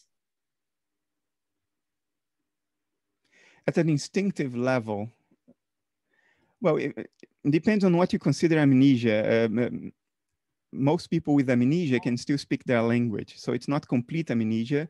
It's amnesia of episodic memory, but you still have skill memory. Um, then you still have instinct, like you would still run away from fire if it's coming towards you. Right. Um, no narrative, no narratives, no narratives. so no episodic memory, you would still have skill memory and you still have instinct memory. So you would still put the fork in their correct mouth. Yeah. But if you would take the, the amnesia to be absolutely complete, in other words, not only episodic memory, but skill memory and, and instinct would also be off the table. You wouldn't even know what a mouth is, let alone in which mouth to put the fork. Sure, sure. And I think the latter is does more justice to the real subject at play. you mean, would you mean the complete lack of differentiation? Yeah. Wow, wow, wow. Yeah. And and that's why we had to evolve in order to know in which mouth to put the fork. Yeah, yeah. Yeah, maybe maybe this is a hang up on my part, but in my mind, somehow the the differentiated self, natural, not narrative, but still differentiated, and the um, the oneness you're describing, um, they are they're equally real. They're equally real. I think it's real in the sense that it's clearly something that's happening in nature. So it, it's not it's not an illusion in the sense that it is what it is. I think the illusion comes when we place a particular narrative around it and we say it is a irreducibly individual subject. That I think is incorrect. I think it is individual because of the way it has been configured in that transpersonal field of subjectivity, but it's not irreducibly individual. Yeah. I think it can be reduced to the transpersonal. But the fact that something is reducible doesn't mean that it has no form of existence. It has a form of existence in the same way that water has a form of existence, even though it's reducible to hydrogen and oxygen. Yeah. Water is not nothing. It's yeah. reducible. It can be explained in terms of two other things that are not water, but that combination produces a reducible reality that exists in that it, it is experienced. So I think the individual self exists because we experience it but it only exists insofar as it is experienced. It, it's not irreducible, it's not fundamentally individual. It is just a particular configuration, topological configuration of an underlying transpersonal field of subjectivity. It's, it's so fascinating, and I'll keep thinking about it. And, and maybe, you know, somehow in my mind, I see this dialectic that, that interweave the pulse of existence, and one isn't more real than the other. Uh, but but, but look, from a psychological perspective, I think what I just said is irrelevant because it's only applicable when we are no longer human, when we die, because I, I think life is the image of that particular configuration that gives rise to the illusion of an individual self. So that's the bottom level as far as psychology is concerned. To go beyond that, you get into philosophy or spirituality uh, or foundations of physics, you, you, get to some other level. From, from the perspective of our humanity, I think it's fair to call our natural selves, which are individual, to call that the base level of the hierarchy of mind. I, I don't think you need to dig any deeper to deal with patients because your patients are alive and you don't deal with dead patients. So there is no need to dig deeper than that, if you know. So the, the natural self can be the true bottom level reality uh, as far as psychology is concerned. If, if I were a psychologist, I would consider that the bottom level. Yeah, yeah, yeah. And you, you even seem to, in your book again, that I like so much, you even seem to acknowledge that there is something egoic that probably survives death. There might be. I, think memories survive death. Mm-hmm. So even if you're no longer, even if you don't recognize yourself anymore as an individual agent, in the same sense that you don't recognize yourself anymore as a, a, an avatar in your dream the moment you wake up, you no longer think, oh, I am that avatar in the dream. No, you know, I am the dreamer. I am the guy who was, you know, conjuring up the whole dream, not only the avatar. Uh, so you you have this change in in the immediate recognition of what you are, but you don't lose the memories of that individual self you thought you were, in the same way that you don't lose the memories of the avatar in your dream. You may still remember the dream, you may still remember who you were in the dream, what you were doing in the dream. The memories persist, but you would no longer say, I am the avatar in the dream. So I think death, uh, when it's when the process is complete, we know now it's a it's a process full of shades of gray. It's a long, drawn out process. We know that now. Um, but when it's complete, when you pass the last gate of that process, and now you're completely and fully and truly dead, um, I think it will be impossible to you to say, "Oh, I am uh, Johannes uh, uh, uh Kieding." Mm. You would say to yourself, "Oh, and I thought I was Johannes Kieding," mm. and you still remember who Johannes Kieding thought he was, and the memories and all that. So, in that sense, everything that was ever truly real about you persists. Um, but what you thought you were, that thought, although it persists as a memory, it no longer persists as a mode of self-identification. It becomes unsustainable, immediately uh, self-defeating in the same way that it's immediately self-defeating for you to tell yourself, I am the character in my dream after yeah. you wake up. Yeah, see, that does make sense to me. But you can see how at least how what some of you say can be interpreted as actually taking the psyche out of psychology taking the, the, the individual psyche out of psychology.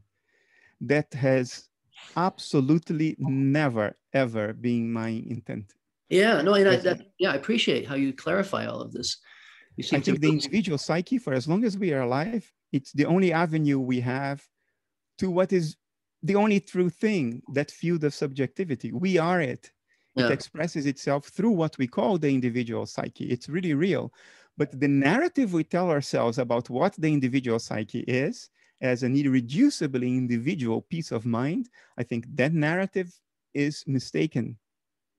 Well, any narrative, any narrative that says, "Here's what I am," uh, it seems to me would miss the mark. Yeah. E- even even the narrative, "This is not what I am." I'm not this. Even yeah. that even that narrative seems to miss the mark. Yeah, because it would immediately entail that you what you think yourself to be is limited in some sense.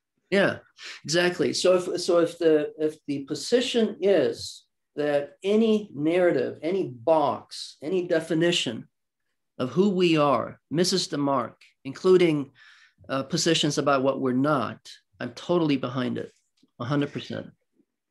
I think I understand you, in, and in the sense I understand you, I think you are correct.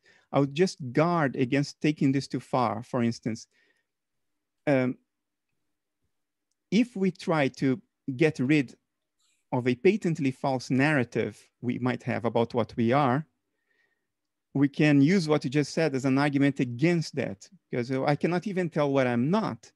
Because you see, uh, in, in the important sense, all ripples are the lake. So the lake cannot look at any ripple and say, I am not that ripple.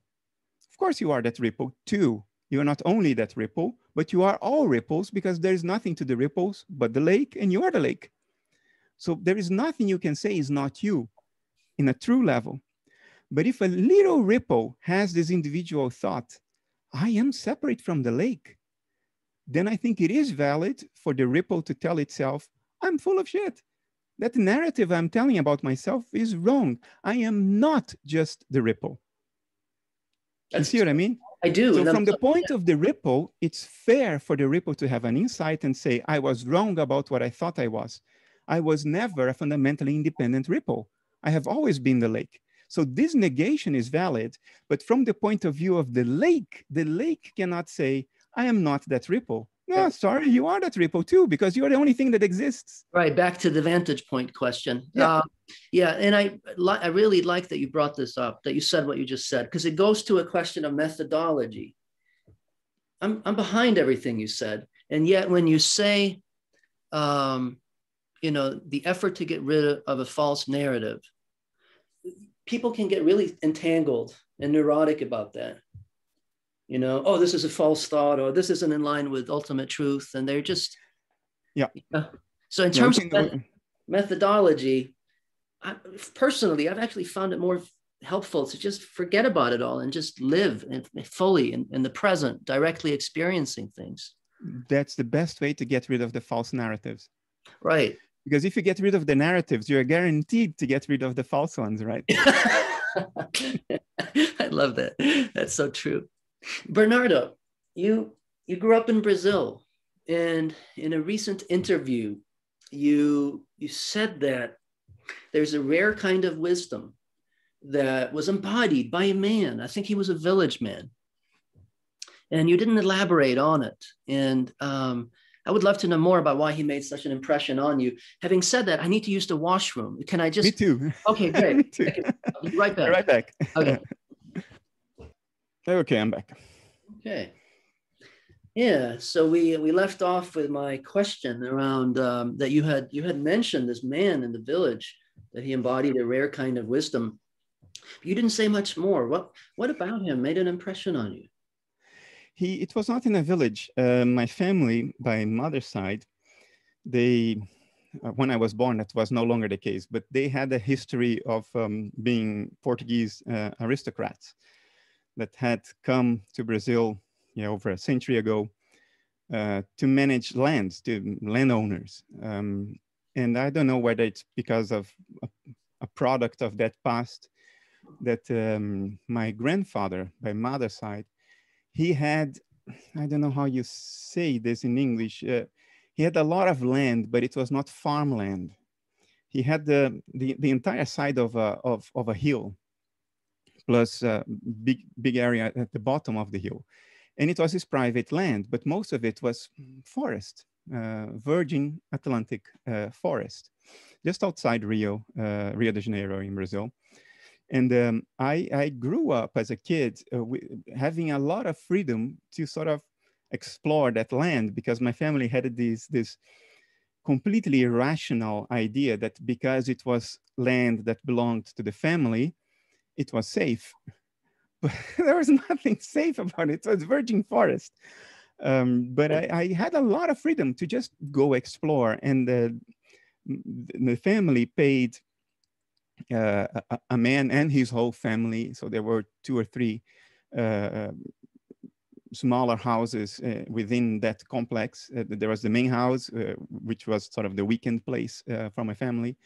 And, and this man and his family lived in, I don't know, 500 meters away, there was this, this other complex of two or three smaller houses where this guy lived with his family and he was paid to take care of the entire land. Uh, and he was allowed to grow vegetables for himself if he wanted uh, to raise uh, chickens and pigs. So he had an animal. He had a mini farm, but it was his own thing because um, the area was not uh, explored as farmland. So he had his own little farm operation. Huh. And every every time I was there in the weekend, I used because I was free.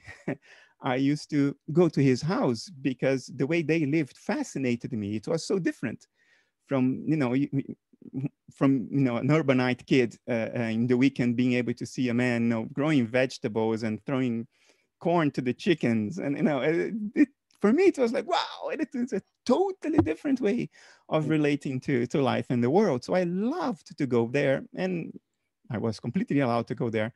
So I interacted with this man a lot. Now, this man was literally illiterate. He couldn't read and write.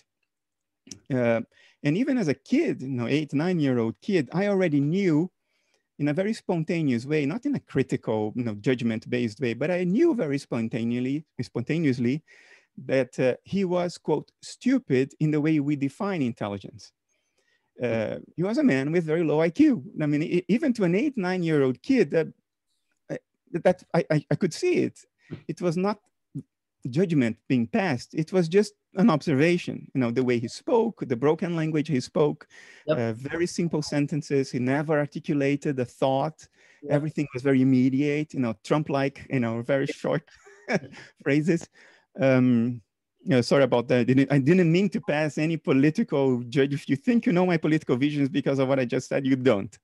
Um, Fair enough.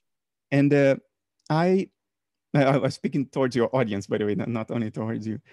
Um, but he always struck me as a wise man. And I, I don't know how to put that in words. Um, certainly not as a kid, uh, but there was something that attracted me to that guy. I wanted to see him work the land. I wanted to hear him speak to the chickens. Uh, you know, there was something that attracted me in in him, in witnessing how he related to the world. And as an adult, I think I can try to word it by saying that he was plugged into a much broader system than I am plugged in. He, he had a spontaneous way of dealing with his environment that I don't my my relationship with the world is mediated by thought. His was not. His was uncumbered by thought. So he had a sort of kind of immediate wisdom. He just knew certain things. Uh, and if you asked him why he would draw blank and he wouldn't even find it strange. Why are you asking me why? It's just like that. You know what i mean? So, so, so heavy on the instinctive flow less heavy on the metacognition very heavy on the instinct and almost zero metacognition. Uh, Jung would have called him a profoundly unconscious wise man. mm-hmm. um, which, but, but he could speak a language broken as he did. So to me, that was a rare window mm-hmm. into a way of being that I was completely insulated from, even as a nine year old kid, if you know what I mean the way the guy talked to the weather, he talked to the birds. It's like, what is happening here? And there was something in me that recognized it as real and not nonsense. And so, yeah, that that's the person. He, he is already dead. Mm. He, I was told. I, I haven't been in Brazil for decades, um, but I was told by acquaintances that uh, he had died a few years ago.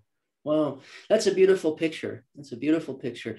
This is probably a professional hazard, but part of where my mind went was thinking about the, the fine line between giving a child freedom and neglecting them.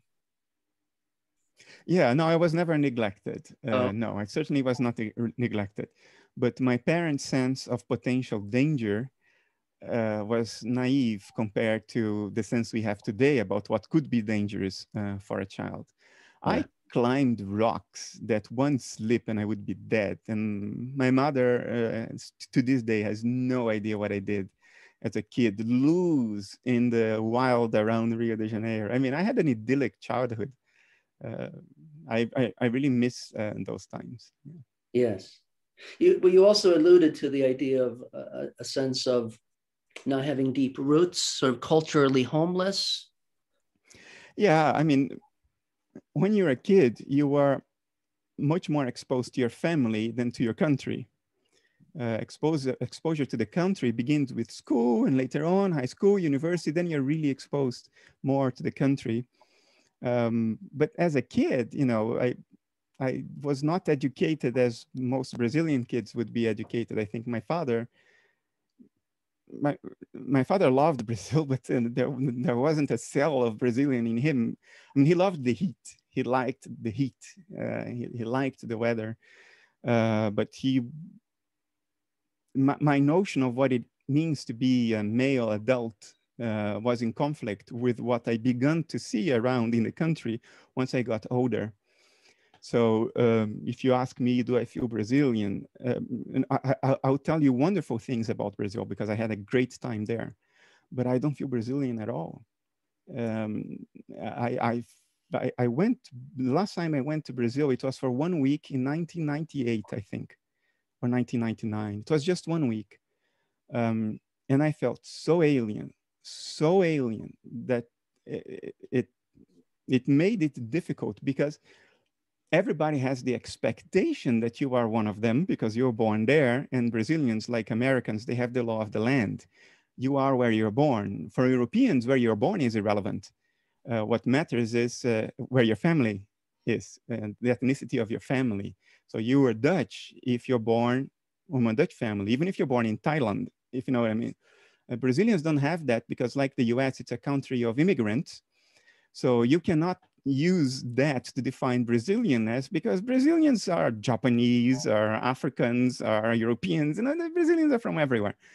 Um, so there was that cultural expectation when I was there in the late 90s for one week that I was one of them. Uh, and to live up to that expectation was very difficult. Um, but what, what, accounted? What accounted for the for the sense of feeling alien there? What what, what accounts for that? Uh, Brazilian society uh, is a I will use a certain word, but I don't mean it pejoratively at all. Brazilian society is tribalist in the sense that um, it's your tribe that counts, and your tribe is your family and friends. Screw the society at large mm-hmm. and screw the individualist. Mm-hmm. Uh, the individualist will suffer mm-hmm. because he doesn't have a tribe to protect him and he will be shunned. Yep. Um, and society at large that's why there is so much corruption. Screw that, because those other tribes are not the tribes I care about. Mm-hmm. Um, uh, Dutch society is the uh, mirror image of that. In Dutch society, it's the tribalism that is wrong. Uh, uh you are respected as an individual, and as individuals, we make sure that we contribute to society as a whole. So the whole of society is our tribe. So we make sure that uh, people that we don't know personally have all the support they need, that old people get uh, assistance from nurses, that there are enough clubs for people to socially integrate, even if, the, if even if they don't have uh, uh um, immediate friends. So there is this dichotomy. People say that Northern Europeans are very individualist. On the contrary, they are the ultimate collectivists. Mm. But it's a collectivism that starts from your individual self. It, it starts from what nature is manifesting through you, respect to that. And then we go collectivist to make sure that everybody is enabled to have a minimally decent life. Uh, Brazilians, uh, um, in that sense, are not collectivists because they focus on the tribe and the collective of the tribe, which is a small collective. They don't focus on the bigger collective of the country and they shun the individuals. So you have to surrender your own dispositions uh, in order to fit into your immediate tribe, your group of friends and family. And um, I could never do that. I could never be a member of a tribe, a member of a gang, a member of a group of friends. And I remember when I was getting a little older, that people would uh, show up in my building and they'd say, it's Sunday, sunny, and they'd say, come on, let's go to the beach. We are all going to the beach. And I'd say, no, I don't feel like going to the beach today. And people would go like, what do you mean? But everybody is going to the beach. And I was like, but I am not everybody. Why should I want to go to the beach because everybody was going to the beach? But in that psychology, that made total sense. If everybody in the tribe wanted to go to the beach, that meant everybody. So you had to go to the beach too, because it's tribal thinking, it's group mind. And I didn't understand that as a kid. I suffered from that as a kid. Uh, um, I understand it as an adult. So this is only one instance of, of a cultural difference that um, makes it uh, very hard for me. I have always been, as my mother says, I have always been my father. So the Northern European side of my family, as opposed to the Portuguese and Brazilian side, because I grew up there. So look, I'm not criticizing anybody. That that's what's very important. Uh, uh, Brazil, my time there was fantastic. I would never have had the opportunity to have the childhood I had uh, uh if my family was in Northern Europe from the get-go. Uh, uh, the freedom I had, the contact with nature that I had as a child was priceless. Mm-hmm. But as I began to grow up into my teens, then it, it began to hurt because now you're exposed to society at large and that society contradicts who you are and the way you want to live and and started becoming painful. So you know uh, being the the second generation that returns home uh, in the sense because after my father died you know europe became invested with the magic of going back to the roots uh, sort of um, um, finding my father again.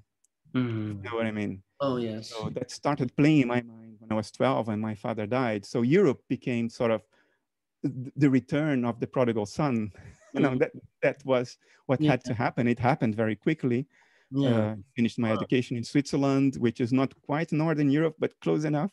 mm-hmm. and, and, and now, now I've been for decades uh, where my heart really is. Um, mm-hmm. I, I, here I feel normal, if you know what I mean. Yes, I do. I, love that you're you're wading into a little bit of sociology. I think it's just so much fun to hear this. You're also describing some of my conflicts. I mean, I I grew up in Sweden, but at 15 moved to the United States and then back to Sweden for a while. And so I, I can share, I can identify with what you're describing, the sense of being culturally homeless. So it's very meaningful to me to hear you describe this. And uh, and my fiance, she's uh, she's Latina, so I'm, I'm, I'm quite familiar with, uh, with the Latin culture and some of the things you're describing. So you recognize what I said? I do, although it blew my mind the way you, there was a nuance there that blew my mind, which was um, when you said that they're actually, actually not collectivist in the true sense. That's yeah. wild. Whoever, I mean, wild. The Dutch are much more collective collectivists than yeah. the Brazilians is. Swedes. I mean, I'm assuming there's a and parallel. Swedes, of course. Oh, yeah. certainly. The whole of Scandinavian is highly collectivist. That's right. That's right. But but hang on here. Hang on. There's so much to look at. I mean, because the other thing you're saying is that you're not a conformist. You're not going to go to the beach if you don't feel like it. I couldn't. Yeah, which I which I respect a great deal, by the way, as I'm sure you can imagine, uh, to this thing about autonomy and staying true to yourself and all of that. Um, and I paid the price for it, Johannes. I mean, as, at the same time, not. At the same time, I a lot of uh, certain aspects of my personality that are very handy formed precisely because of that. But uh, as a as a young teenager, uh, teenagers had groups of friends for protection against other groups. You know, I mm-hmm. mean, physically, even if you get into a fight, mm-hmm. and uh, because I wouldn't be a member of any gang, I mean, I would I would uh, traffic through all the gangs, if you know what I mean. Mm-hmm. I was friends with all of them, friends. I was acquainted with all of them. I would speak yep. to all of them, yep. but there was none that I was a member of. So I, mm-hmm. I was on my own. Mm-hmm. So very early on, you know, I had to go to karate and jiu-jitsu school and, you know, uh, uh had that tough mentality uh, to prevent bullying from even beginning because that's one of the things my father taught me very early on. was um, uh, the only way to stop bullying is to cut it from the root. You don't let it even begin. And, and this was the 80s. So I got advice that I would never give a kid today. And my father would say, um, uh, get into a fight. The worst that will happen is that you have a broken arm and I will go uh-huh. pick you up at the hospital. Uh-huh. It doesn't get any worse than that. And then I thought, this, is, this isn't that bad at all. So it's okay. If I, so his point was, if you start being bullied, immediately get into the fight. And it doesn't matter if you win or lose because they will leave you alone. The bully always wants a free pass. He doesn't want to get into conflict. So did, did you get it? Shaped my yeah. So my my my natural way of being, which made me sort of alien based on the expectations and values of the society around me, it toughened me up, uh, and it allowed me to to feel relatively comfortable uh, uh, playing my adaptive self out through life mm-hmm. Uh, without being overwhelmed by anxiety. Uh, which I think uh, is the problem you see in one of the problems you see in the therapy room is people who couldn't just form a strong enough adaptive self. Yes. Um, so I didn't have that problem because it was forced on me very, very, very early mm. to have to build that because I was statistically different. And I say statistically, it's important. Brazilian society is a very, very heterogeneous society. There's everything there. There are towns where you speak German, towns where you speak Dutch, towns where you speak Japanese. So there is everything. But there is a statistical average that is very present, present. And it's the true Brazilianness, it's that mix, that statistical average. And I was, you know, I don't know, six sigma deviated from that from that mean value. So I was very off the average.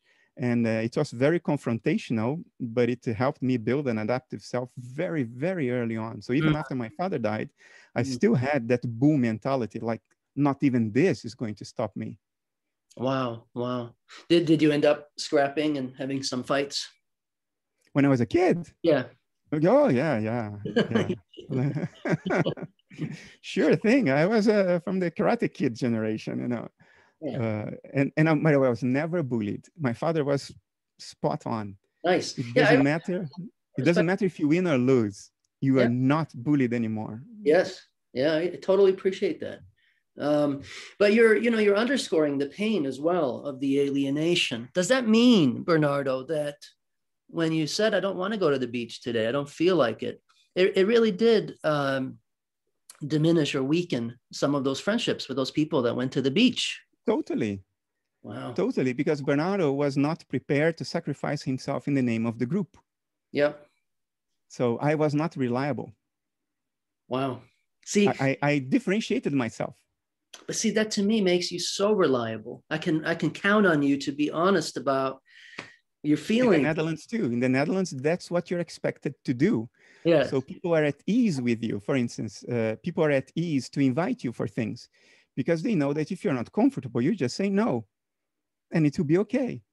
Uh, in other places, people may be uneasy to invite you at things because they might think he will accept because he will feel forced yes. for social reasons. Yes. And, uh, we don't have this here. So Americans, when they come to the Netherlands, uh, although they are closer to the Netherlands than Brazilian are, Brazilians are, but uh, even Americans, they think we are rude because uh, we say things straight on. We don't dance around mm-hmm. to, to say something. Mm-hmm. If you don't like something or if you don't want something, you just say it head on. N- no polishing whatsoever. And for some Americans, that's very confrontational. And for the British, it's extremely confrontational. They, it makes they you think we are a bunch of bastards. but it makes you so ultimately reliable and trustworthy. Me personally, yes you you and i the people in in the netherlands i suppose if if you're oh, we speak our minds. Yes. That's that's so what that, i find. that's what we associated with trust. Yes. But uh, uh, brazilians wouldn't associate this with trust. Trust for them is conformance to the group. Yeah. you can be counted on to conform with the group. Yeah. that's reliable. You see there is a sense in which this is a proper application of the word there is a sense in which this is actually reliable. You can be relied to conform to the values and dispositions of the group. You can be relied on as a member of the group. Uh, in the Netherlands, you can be relied on as somebody who gives expression to your personal dispositions, wants and, and, and non-wants. Um, so the word is properly applicable in both cases, but uh, the meaning is completely different in either yes, case. Yes. Again, it goes back to the vantage point. Are we looking at this from, um, can I get Bernardo to do what I want him to do? Or can I count on him to be true to himself? And we can connect through that authenticity. Yeah, because we value this individuality of expression. So uh, uh what you what you say is important as far as the individual self. I agree with you in the sense that that you mean it. Uh, uh, we have to honor this particular expression of nature that we are. We are a certain kind of flower and not another. you know what I mean? Mm-hmm. But uh, and, and but this doesn't contradict the statement I made that uh, the individual self, ontologically speaking, is reducible and therefore an illusion. Uh, so in that sense, it's an illusion. But I think as an expression of nature, we need to be respected. And in, in countries that have this innate respect for the particular ma manifestation of nature that each one of us are, uh, they project that need for respect onto others, and therefore they rely on others insofar as the other also respects his individuality. Because I respect my own, I rely on others respecting their own so we can have social commerce in a clear way that doesn't lead to discomfort. Uh, but the expectations are different in other places. And for me, that was very clear because of my childhood. I know from very early on that expectations can be different from my natural expectations because yeah. I was confronted with that very early on. Yeah. And, and, and, and I even started as an adult thinking about how my father lived. How was he happy there? And um, and and my my mother helped me put it all together. My father was a loner mm. uh, in Brazilian society. He mm. didn't have close friends that came to visit. I hardly remember mm. anyone coming to visit from mm-hmm. from his side. Mm-hmm. We would visit his family. Uh, no, the Danes. We would visit them I, weekends, but he there was never a friend of his coming by. So uh, he was happy because he liked the weather. He liked the heat, which I hate.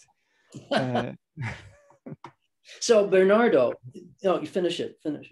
Yeah. So so he found he, he carved his own space for himself. He had a whole whole lot of hobbies. Mm-hmm. Electronics was a hobby of his. Became my profession. Mm-hmm. Uh, flying model airplanes became a hobby of his. Mm. So he, his social engagements were through hobbies, through clubs, exactly like we do in Northern Europe. So mm. my intuition as a kid was right. He was never a Brazilian. Yeah. And his love for Brazil was something else. It was a different type of love, if you know what I mean. Yes. Well, well, well. So, Bernardo, that which is seen through your eyes right now, that which is detecting what I'm saying and comprehending it and deliberating it, responding, from your point of view, it's mind at large. It's this cosmic consciousness one field of subjectivity, taking a point of view in you, another point of view in me, but ultimately one field of subjectivity expressing itself through a variety of ways, like the variety of ripples that you can have on a lake. Mm. And you can point at each ripple and say, that's the ripple. You can locate its spatial boundaries. You can give it physical characteristics. This ripple is this high, this, it has this breadth, it moves in that direction with that speed. Mm-hmm. Uh, so, but that doesn't mean that there is anything to the ripple other than the lake in which it ripples. Mm-hmm. So we can locate each other in space. We can attribute physical and psychological characteristics to each of us. Mm-hmm. We can mm-hmm. say, you know, you are there and I am here. You are this old. I am this old. Mm-hmm. But that doesn't mean that there is anything else going on in us other than that underlying field of subjectivity, uh, the mm-hmm. lake in which we ripple. Fascinating. You said something once that that jumped out at me, which was I can't remember word for word, but it was something like life is is bizarre if you think about it. It's strange. It's just bizarre thing. And, and, and I agree with that. But what jumps out at me, Bernardo, is that the very statement, the very opinion uh, seems to include some reference point in order to determine that it is bizarre. And, and what is that? What is that reference point? I was always afraid I would get this question one day. now it has happened. what happened? Oh gosh. And despite years of trying to prepare for this question um, and not to sound like a nut in answering it honestly. Yeah, yeah. I'm not sure I am prepared uh, to answer it in an honest way that safeguards my image. Mhm. um, it may Although- be unbelievable what I'm about to say. Yeah. Okay. No, just, but I know you do shadow work where you challenge yourself to go against your image when you wrote about cosmic consciousness as a way of challenging your image. So I know this is in line with your priorities. So that's why I'm going to answer.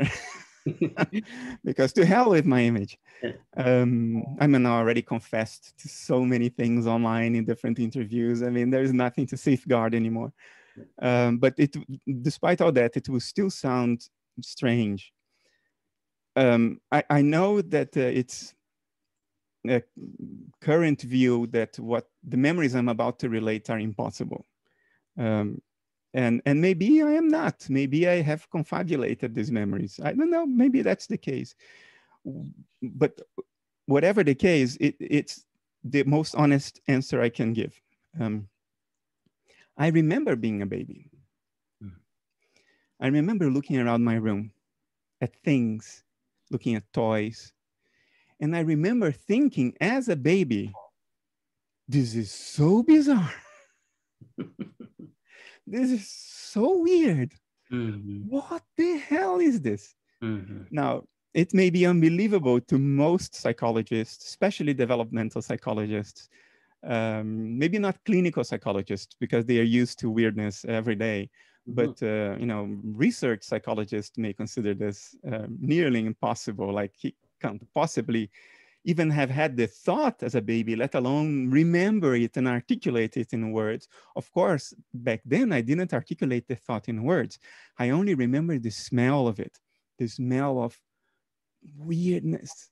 Mhm. I, I remember sitting on a on a living room rug, a thick living room rug, with a TV much taller than me in front of me, and tall sofas further away.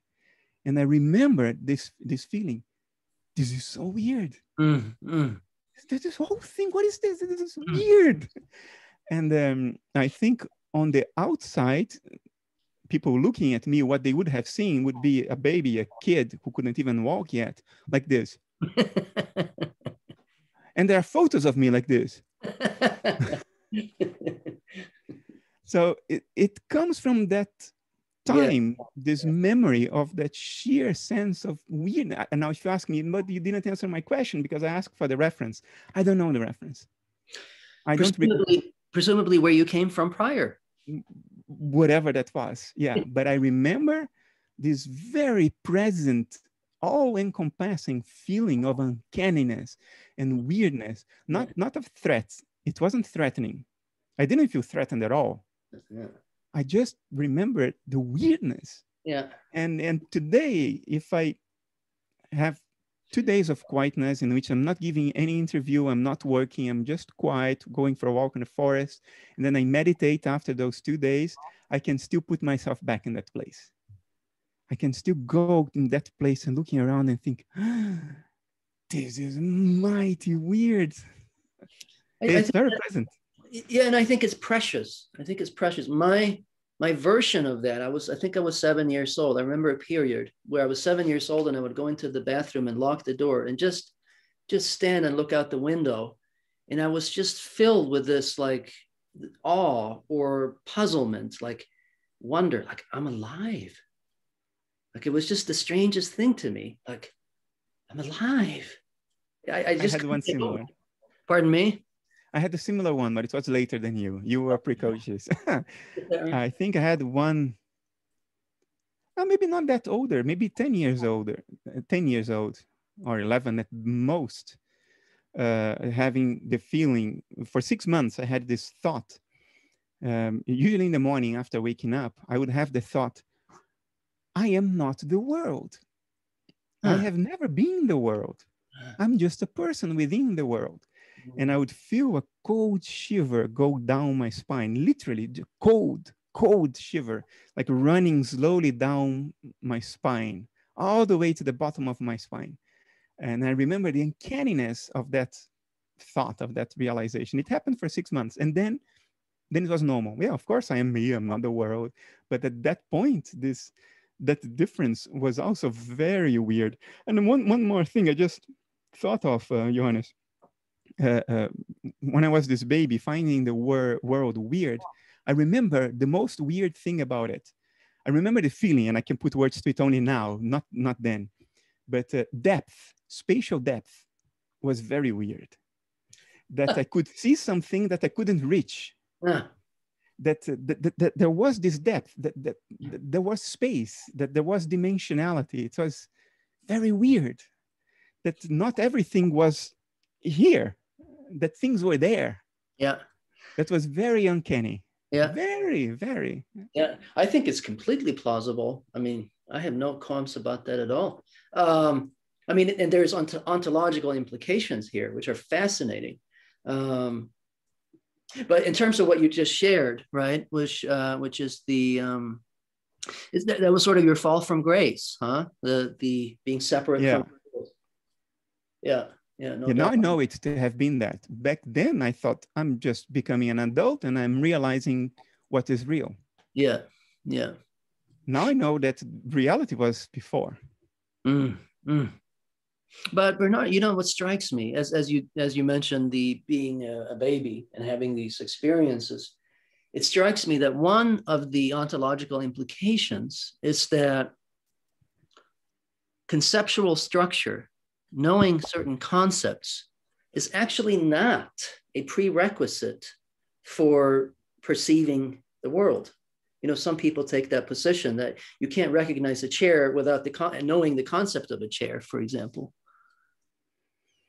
I, to some extent, am sympathetic to that position, but uh, not in not in a way that contradicts where you're coming from. I think um, we certainly perceive what we now call a chair before we have the concepts for it. Yeah. But what we call a chair is concept laden. Sure. If today I look at a chair, what I see is not really what is there what I see is a tiling of what's there with a conceptual cobwork, uh, a cobweb of, of, of concepts. So I, I think today, in most adults, we lose contact with reality as it is before we tile it up with a web of concepts.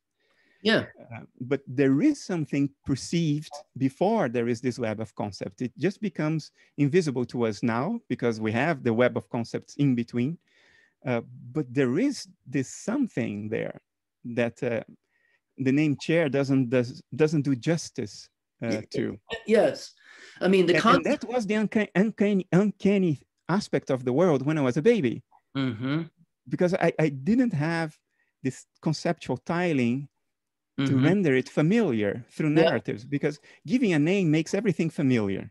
It creates an illusion of understanding and familiarity. For instance, we have no idea where the, the effect of um, the acceleration of the universe's expansion, we have no idea where that comes from, but we give it a name, we call it dark energy. And suddenly we feel all warm and fuzzy inside that we have some grip because we gave it a name. So giving names and applying concepts to things, uh, I think uh, that's my personal intuition. I'm not a psychologist. It contributes to our feeling safe and secure and uh, contributes to building the, the familiarity of the world. And when I was a baby, I didn't have that. So the world was uncanny. I, I don't know. I'm trying to explain something that I can't. So oh, I love it. We're thinking out loud. I mean, the concept helps me know how to relate to that thing. And it, and it gives me a sense of the function of that thing. Aha, this is associated with sitting. Um, yeah. But prior to that, um, there's an experience. And yeah. there, I believe there's also discernment, not necessarily around what the function is of that chair. Um, but the, I think we're not, we're not, um, differences are not necessarily lost to us. I suppose you could argue that, man, well, that just means you have the concept of this versus that difference. Maybe that's a core concept, and that's why you can differentiate things. I don't know. What do you think? I think there is a way to differentiate things without a conceptual armor. Um, although the differentiations probably would go along different boundaries and different lines than the lines imposed by our conceptual dictionary. But I, I, am remembering, I'm remembering myself as a baby, and I certainly differentiated things. I, I could differentiate. Um, how do you call it when you hang something on top Mhm. of a, a, Mhm. a baby's uh, um, crib. like a dream uh, catcher, It rotates, has Oh. things hanging from it. Uh, Yeah. catcher, huh? dream catcher? Yeah, yeah. It's like this native thing that's supposed No, to. no, no, no that's not that. It's uh, it, it, it, it has figures hanging from it, like Oh, yeah. clowns or horses, and Yes. and it has mirrors, and it the lights flash, and it rotates a little bit, Oh, okay. Okay. and it's to, to keep the baby entertained when the baby is looking up. Yeah. I remember seeing that, Yeah. and I didn't have a concept for that, but it was clearly differentiated in my perceptual awareness. I saw that that thing had an existence. Yes. Fascinating. You know, and some would argue that, well, you, you probably had a concept of thing, object, and that's why you could differentiate it. So, It was pre-language, so whatever concepts I had were not language oriented. yeah, that's, I agree. I think. agree. I agree with you. I agree with you. But uh, uh, yeah, the the most uncanny thing for me was spatiality. Was Hmm. the ideas that things are there and not here. That was just mind blowing for my baby self. It, uh, anyway, I I'm sure developmental psychology can explain that in some way, but Yeah. Well, I imagine that this this had a role in how you gravitated towards idealism. not an explicit role that I would be able to report on, but probably in the underlying streams of my Yeah. uh, uh, uh, psychic development, probably this had a, this played a role. yes. Uh, I, today, I tend to see some reality in, in, in those early days. Uh, I think the tendency in our society is to see life as a constant evolution forward in cognition and knowledge.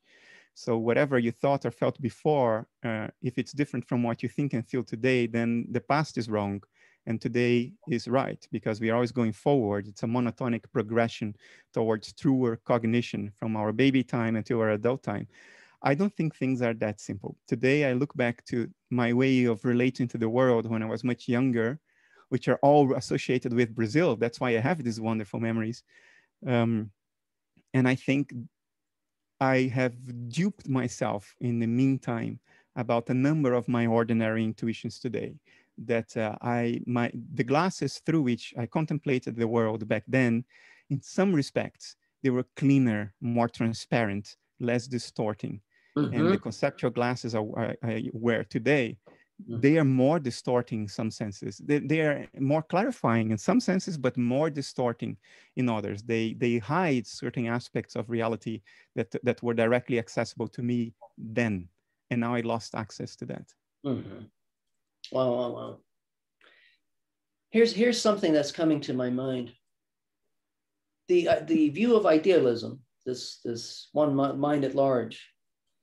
Um, if I have understood things properly, it's not combat it's not compatible with a Buddhist view, which I actually think is a good thing. I'm not a fan of Buddhism. Um, my understanding of Buddhism is that the, it's it's akin to nihilism, and they're going to say I've misunderstood it and so on, but I don't think so. If you pull back the curtains and actually look at it, their, their view is that there really is only these impersonal processes, and whatever we think of as an observer or witness or experiencer, it's simply a function, just the way a chair has a function of sitting. Um, but if I've, I, I could be wrong, but is it fair to say that you don't square with that Buddhist notion? The way you put it, I don't square with that. That is Okay. correct. Okay. Um, of course, no. uh, uh, Buddhist literature is ginormous. Um, it, it's not a restricted canon like in Christianity, where there has been a selection already made. We group all of those scriptures in one book called the Bible, and that's it. That's the canon. In Buddhism, the canon is ginormous. There's no single human being can read the entire Buddhist canon, and it was written by an enormous variety of people over 25 centuries. Mhm. So when we say Buddhism, uh, you know, what do we mean? And whose version of Buddhism is that? Is that Nagarjuna's? Is that uh, uh, um, a more modern sage uh, like um, uh, Nisargadatta Maharaj? That, was, that was Hinduism, sorry. Uh, take another um anyway, uh, is it the Zen view of Buddhism? Is it the Mahayana school? Uh, you know, is it the the Sun? I forgot. There is another school in Japan that's completely different from from Zen, but it's also Buddhism. So my own prejudiced, biased personal interpretation of what Buddhism means when they talk about the void, when they talk about there being no self, my own interpretation of that, which is then, of course, compatible with my own narrative. I'm trying to fit it to my own narrative to some extent. So I'm, I'm perfectly happy to acknowledge my bias here, but my own interpretation is what they mean by no self is no individual self, no differentiated self. Differentiated selves are epiphenomenal. They exist as epiphenomenon, but they are reducible. And what they mean by the void is a transpersonal mind at rest, Uh, a non-excited field of mentation. And then it's a void because there are no objects, because objects are experiences and experiences are excitations of the field. If the field is at rest, or if the field has only one carrier wave, which Hinduists and Buddhists call the drone, the like the, the base frequency of vibration, which is always there and everything is modulated on top of it. So if it's if it's mind at rest or, or only the drone as a pattern of excitation, then they call it the void because there are no objects. There are no explicit experiences. There is only the potential for experiencing. But of course, that void is a no thing, but not a nothing. Potentials are not nothing. But potentials, there's a sense in which the potentials are everything the potential for something to happen is not nothing. It is just a no thing. It's not a thing, but it's not nothing. So the void is not a nothing. The void is mind, transpersonal mind at rest, no personal self, uh, uh, exhibiting only the potential for everything, but no expression of the potential. So that's my interpretation of the no self, no personal self, and the void which is mind at rest. Well, I can hear my Buddhist friends in my mind going, "Yeah, he that's it. He got it. You know, that's that's accurate. You know." Um, but they would also say that this transpersonal mind is not to be reified. It's actually empty. Even that is empty. There is nothing you can point to and say that's that's what it is. It doesn't exist, which translates to a psychology without a psyche. In other words, there's no one really home like you once said in one of your interviews, there's no there's no Kastrup, there's just Kastruping, which is that it's at odds with the witness, the the changeless witness. Okay, so now I will go beyond my own philosophy. There's only one place where I touched upon this, and that was a book called More Than Allegory, uh, a book that goes beyond the official story I am prepared to defend on rational and empirical grounds. Mm-hmm. So I'm going to go in a direction now that I do not know how to defend on rational and empirical grounds. It's an extension of my normal shtick, if you know what I mean. Um, so please, audience, don't hold me to that because uh, it's it's quicksand territory now. There is a sense uh, how to there are things that are ineffable, that cannot be put in words, that cannot be put in rational spatial temporal terms. And yet they are so present, present and so self-evident in certain states of mind that it is impossible to dismiss them as non-real. Uh, there is a part of your mind that actually cognizes it, but in a non-verbal way, in a non-explicit way. Uh, and you cannot make an argument for it and that's why many schools, including of Buddhism, have completely given up on describing reality. All they do is point to it in the hope that you will look in the right direction and you see it for yourself.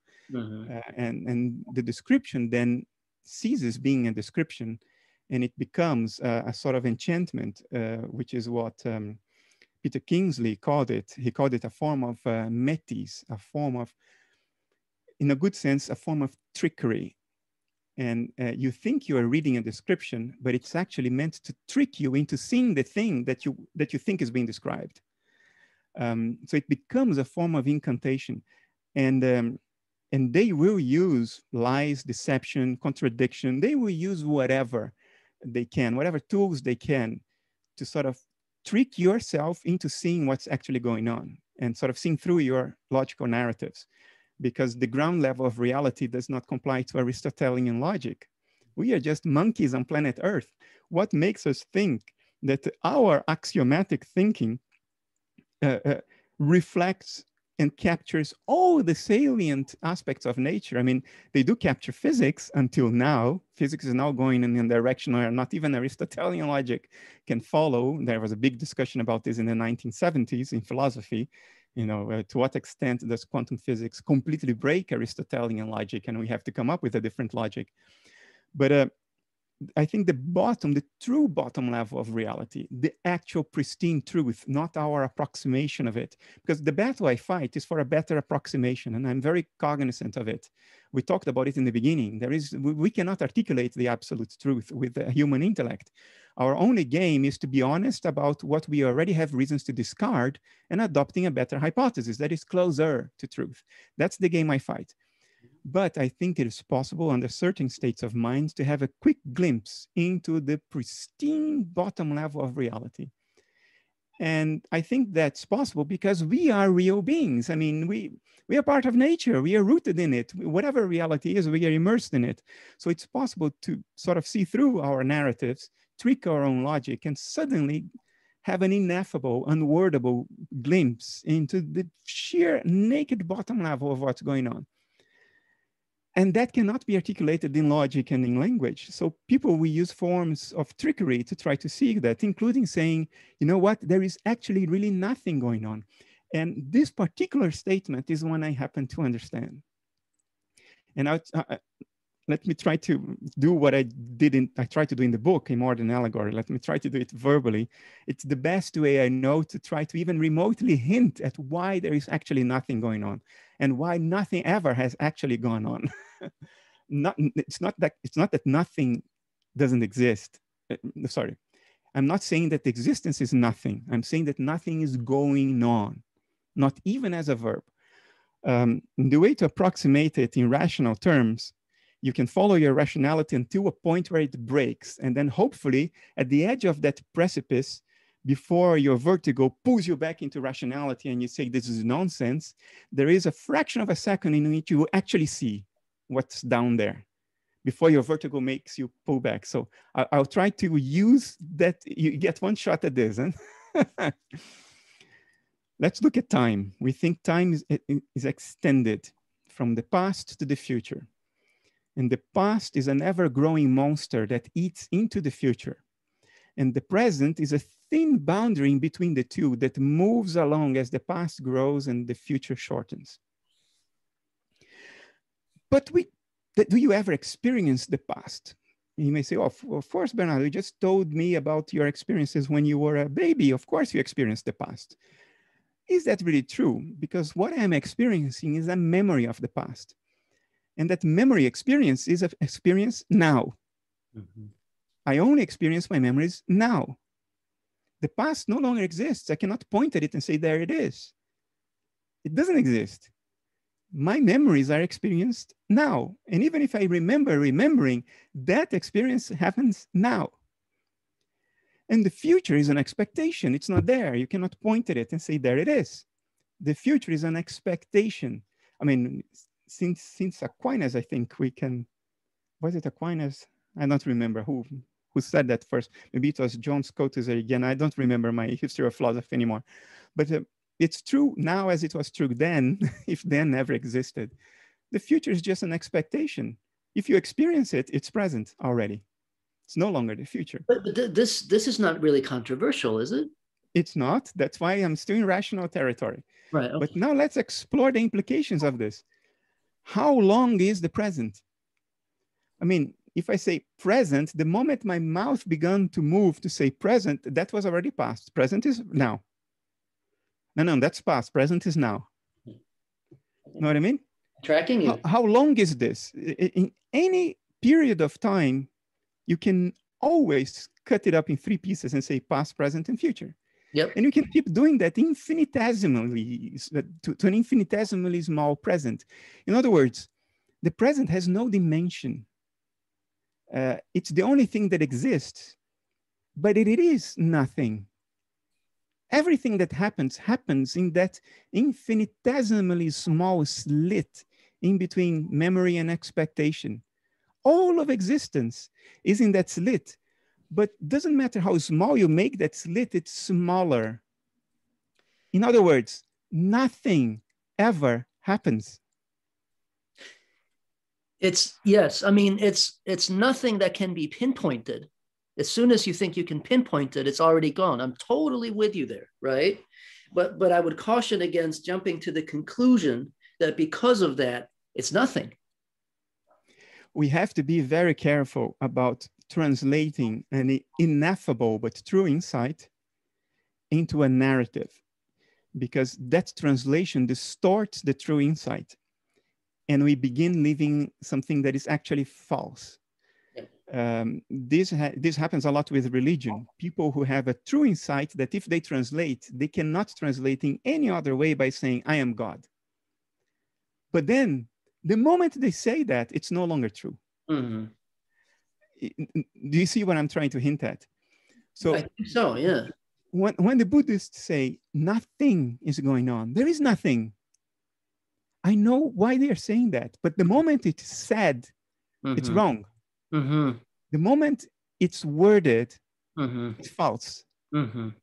But I, I think to know where that is coming from, and I would even say there is no other way to word it.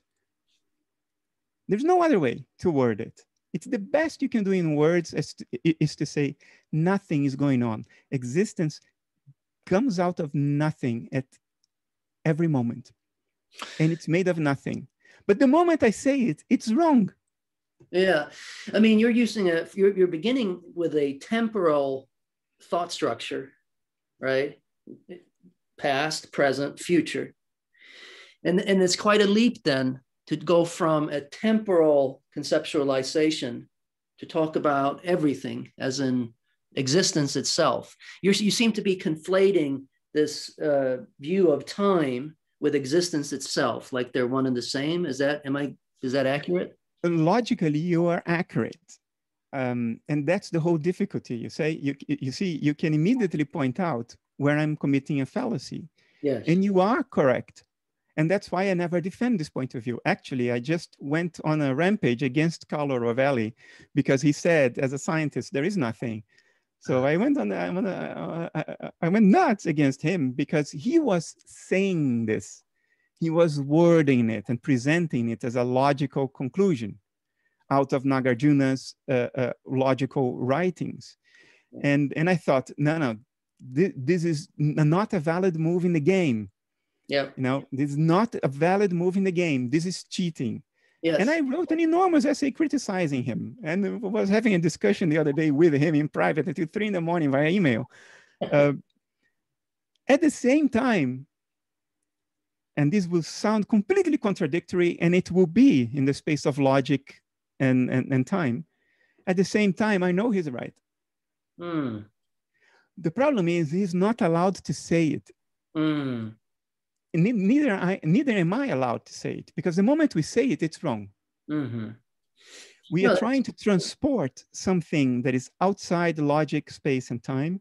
Mm-hmm. We are mm-hmm. trying to fish that from out there, move it within logic, space, and time, and pretending that it still works. Mm. It doesn't. You yeah. cannot take that fish out of the lake and serve it for dinner.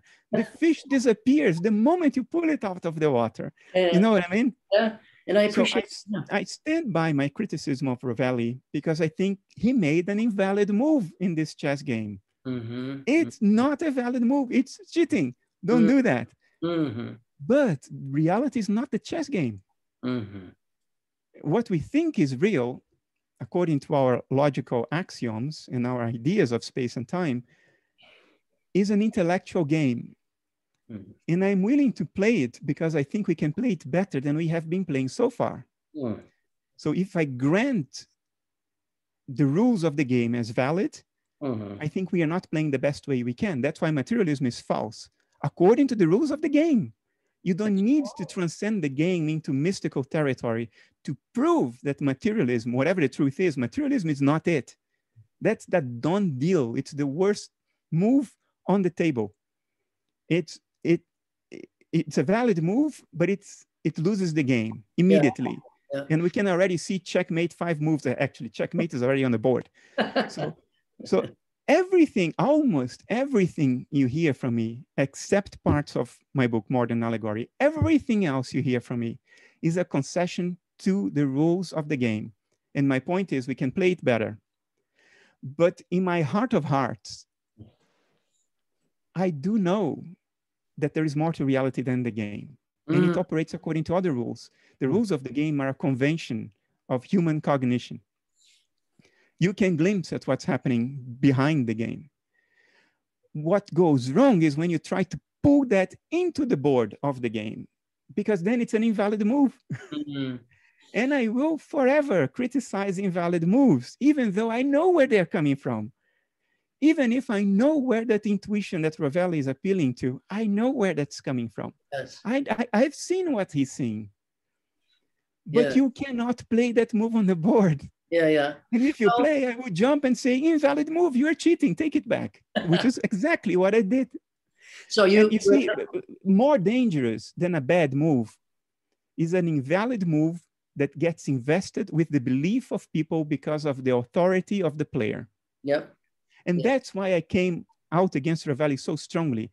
People trust that he is a level-headed, objective person Mm-hmm. When he makes an invalid move, he can destroy the game because people will think, oh, it's a valid move. And now mm. the whole game will change and it will be chaos mm. because we are infringing the rules and we don't even know that we are doing that. Yeah, yeah. So I would jump eh, eh, on his throat and say, don't play this move because it will be wrongly misinterpreted. Mm-hmm. People will make of it something it's not. Mm-hmm. Because you cannot pull this fish out of the water and expect it to still exist. It doesn't when you it only exists in the water. Mm-hmm. So you play the wrong move, and it's a dangerous move because people expect that you play world level chess. People expect you, you know, there is no Italian word. Uh, uh, um, there is an Italian, mm. very good player now. Um, forgot his name. Eduardo, no, Caruana. Eduardo Caruana? Anyway, people would think that Rovelli is Caruana playing chess, and they will, they, they will never even question that he played an illegal move. Of course, he played a legal move. Mm. And that would destroy the game. It would destroy everything we've built since the Enlightenment. Um, but again, and I sorry, I'm repeating myself. It's so difficult to talk about these things. Mm-hmm. I have seen the fish he saw. Mm-hmm. I just am against pulling that fish out of the water and expecting it to exist after you do it. It doesn't. Yeah, I, I appreciate your passion and your point of view. And I think you're also acknowledging that you appreciated my rebuttal.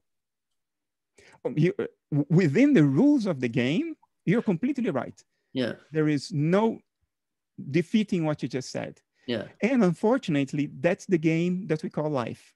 Yeah. Okay. So unless you see the fish for yourself, saying what I said is wrong. Yeah. Why okay. did I say that? In order to illustrate the difficulty of the problem. Yeah, so fair. nobody should take what I said to be the truth. It's not. Yeah. Because I took a fish out of the water and I'm presenting it to you as if it were still the same fish. It's not. It has undergone magical chemical transformation. And now it's false. The moment I say it, it's false. Totally fair. Totally fair. Totally fair.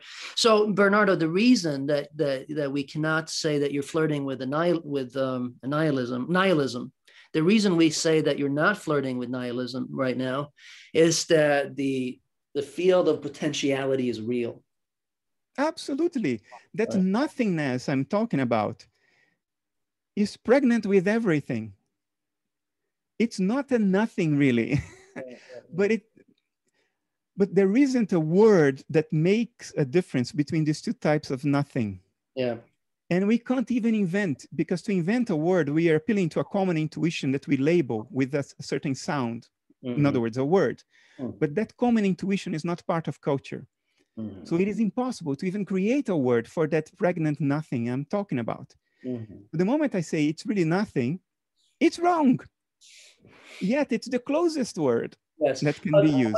Yes, but but the caveat of calling it a pregnant nothing is helpful. It moves us in the right direction. It's equally valid to call it everything as it is to call it nothing. Right.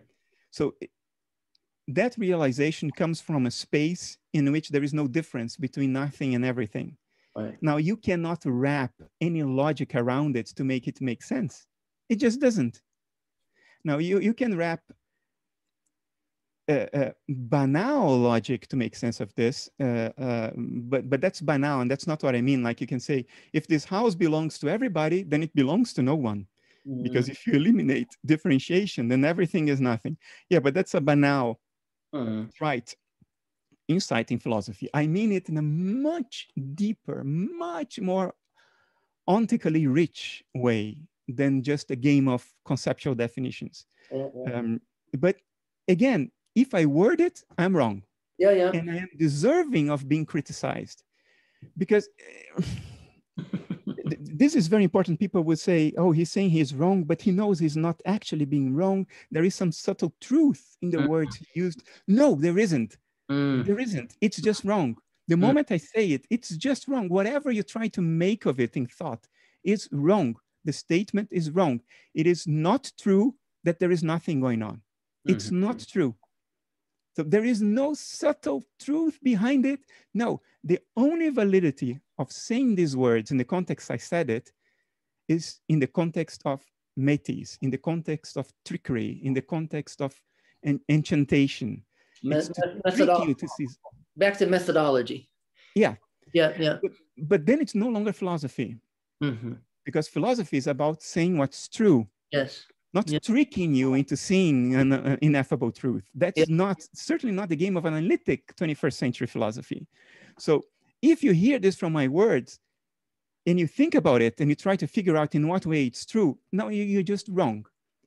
You will either be brought to the edge of the precipice and take a glimpse at it before your vertigo brings you back to the safe ground of logic and understanding, or you will not see it. If you don't see it, there is no logic and understanding that you can wrestle out of this. It's just plain wrong. It's false. Yeah. Nothing more than that. Its only value is to trick. If it fails to trick, there is no value. See, So I failed to trick you. I could see it in your eyes that I failed to trick you. You Indeed. never left that solid ground of, no, no, wait a moment, wait a moment. Let me understand what he's saying. You never left that. You didn't even get to the vertical. You can see it in people's eyes when they suddenly go like, and then, no, no, no, but this cannot be right. Yeah, you're, you're correct. This cannot be right. The question is, have you seen it? Well, here's the, here's the thing. I lived for a couple of years at a Zen Buddhist monastery. I- I've been very, very deep in the spiritual path. We meditated, you know, week for weeks on, you know, for weeks, you know, 15 hours a day. So I've had very powerful meditative experiences. I've been around the spiritual block, if you will, and and I'm down with what you're saying. But I would what I want to underscore is that the way we, and I think you're saying the same thing, the way we conceptualize that glimpse of the fish is not only does it matter a great deal, it poses a lot of risk. Yes.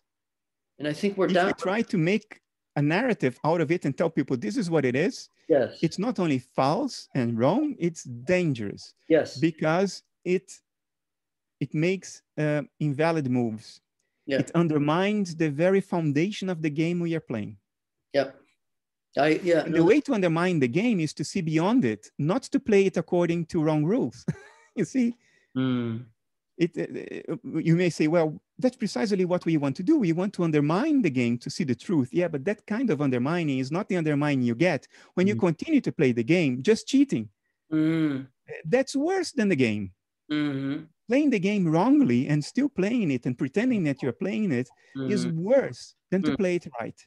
mhm, See, through the game, that's that's what we all want. mm, But and, and I was not referring to the insights after long meditation. To me personally, uh, uh, Johannes, I, I I had some deep insights in meditative practice, sometimes uh, uh, aided by uh, by psychedelics. mhm, Um, but what I was trying to hint at to you mhm, happened suddenly in a restaurant one day in a discussion with two friends while I was drinking wine, one glass of wine.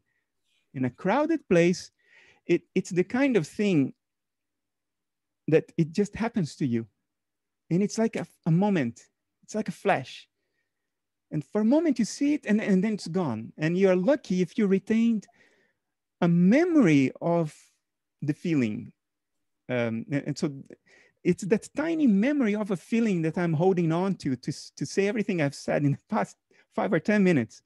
Um, it was not out of meditative discipline.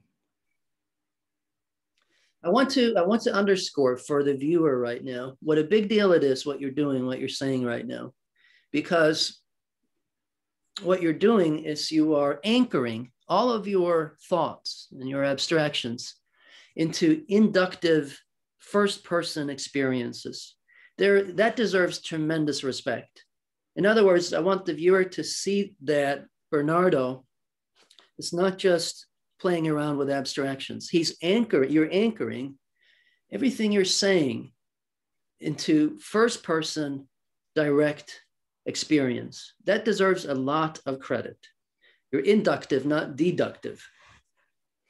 But notice that everything I said in the last 10 minutes or so about you know the nothingness um, is an aspect of my philosophy that um, is um,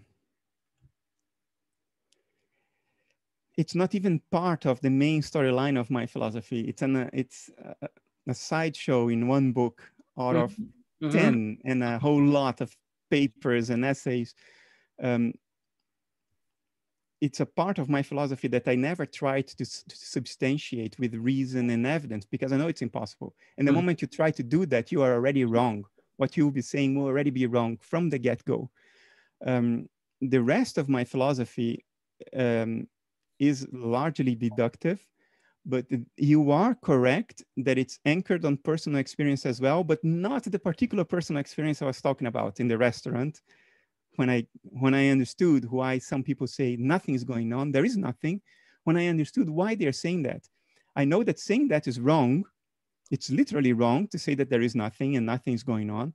But I understand why these were the words they chose I understand. I understand. I mean? So that particular experience in the restaurant does not inform the rest of my philosophy because it is impossible to construct a philosophy around it because that would be trying to serve the fish for dinner, the fish that disappears once you pull it out of the water. You know what I mean? Yeah, I do. So my philosophy is partly out of first person experience, but not that particular one. Uh, it's, it's just an experiential relation with the world as experiential in nature. So I live my philosophy, and in that sense, it's not only conceptual for me. I live, I live in a world that is experiential in nature. That's my life. Yes. Um, yes. But it is still a philosophy play, playing accord, according, played according to the rules of the chess game. I just hope to win the chess game, to play better moves, but I'm obeying the rules of the game. And, and the rules of the game are the post Enlightenment rules internal logical consistency, coherency, empirical adequacy, conceptual parsimony, and explanatory power. So I, I, just, I choose yeah. to play by those rules, but I don't think those rules are absolute. Yeah. I just love you for your passion. Uh, is it really true that your philosophy is deductive, it seems to me that it's actually more inferential. That if you really, really get to the core of it, it's based off of first person perspective, experience, and you have inferred certain positions based off of that. So it seems more inferential than deductive. Am I wrong? What am I missing? Every theory of nature, every ontology, every metaphysics uh, uh, is inferential unless you're a solipsist. Uh, a solipsist is the one who believes that only his own life exists, that life is his own private dream and nobody else is conscious. The other people exist only as images in his own dream. That's solipsism. Um, so that's the ultimate skeptical philosophy in the sense that you infer nothing but your own experiences, which are not inferential because you have them. Anything that is not solipsism, so materialism, dualism, panpsychism, idealism, and all their myriad variations, they are all per force inferential because we are inferring something that exists beyond our private experiences of the world because we are not solipsists. So in that sense, you're correct. But in the argument for our respective positions, we take deductive steps.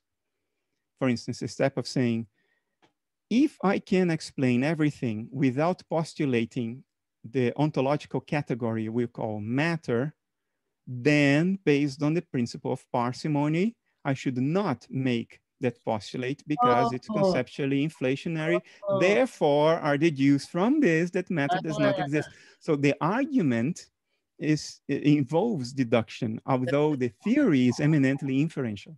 That's so interesting. You're talking about a priori, a priori, um, uh, an, an approach of a priori, right? Is that what it's called? Uh, deduction operates according to a priori rules. Yeah. That are not themselves uh, uh, provable. They are just taken for granted as being self-evident. For instance, if A is identical to B and B is identical to C, then A, of course, is identical to C. That's the distributive principle, uh, and, and it's considered to be self-evident. Or if A is false, then it cannot be true. And if A is true, then it's not false. Moreover, if I know that A is not false, then it must be true. Or if I know that A is certainly not true, then it has to be false. That's the law of excluded middle in Aristotelian logic. Another axiom. None of these axioms can be proven. They, are, they sound self-evident to us. They require no substantiation, no proof, no explanation. We just immediately think this is self-evident. It cannot be any different. So Aristotelian logic is based on like five of these axioms. And we know that if you look deeper, you can undermine each and every one of them because you cannot use logic to prove the validity of logic without begging the question, without arguing uh, in circularity. So for instance, there are alternative logics like intuitionism that reject the law of excluded middle. To prove that something cannot be false does not mean that it's necessarily true under intuitionism. And you may think this. I agree with that. But uh, most people would say this is absurd. If it's not false, then it can only be true. Well, according to intuition, intuitionism, not. So every step of deduction is based on one of a set of axiomatic rules of derivation.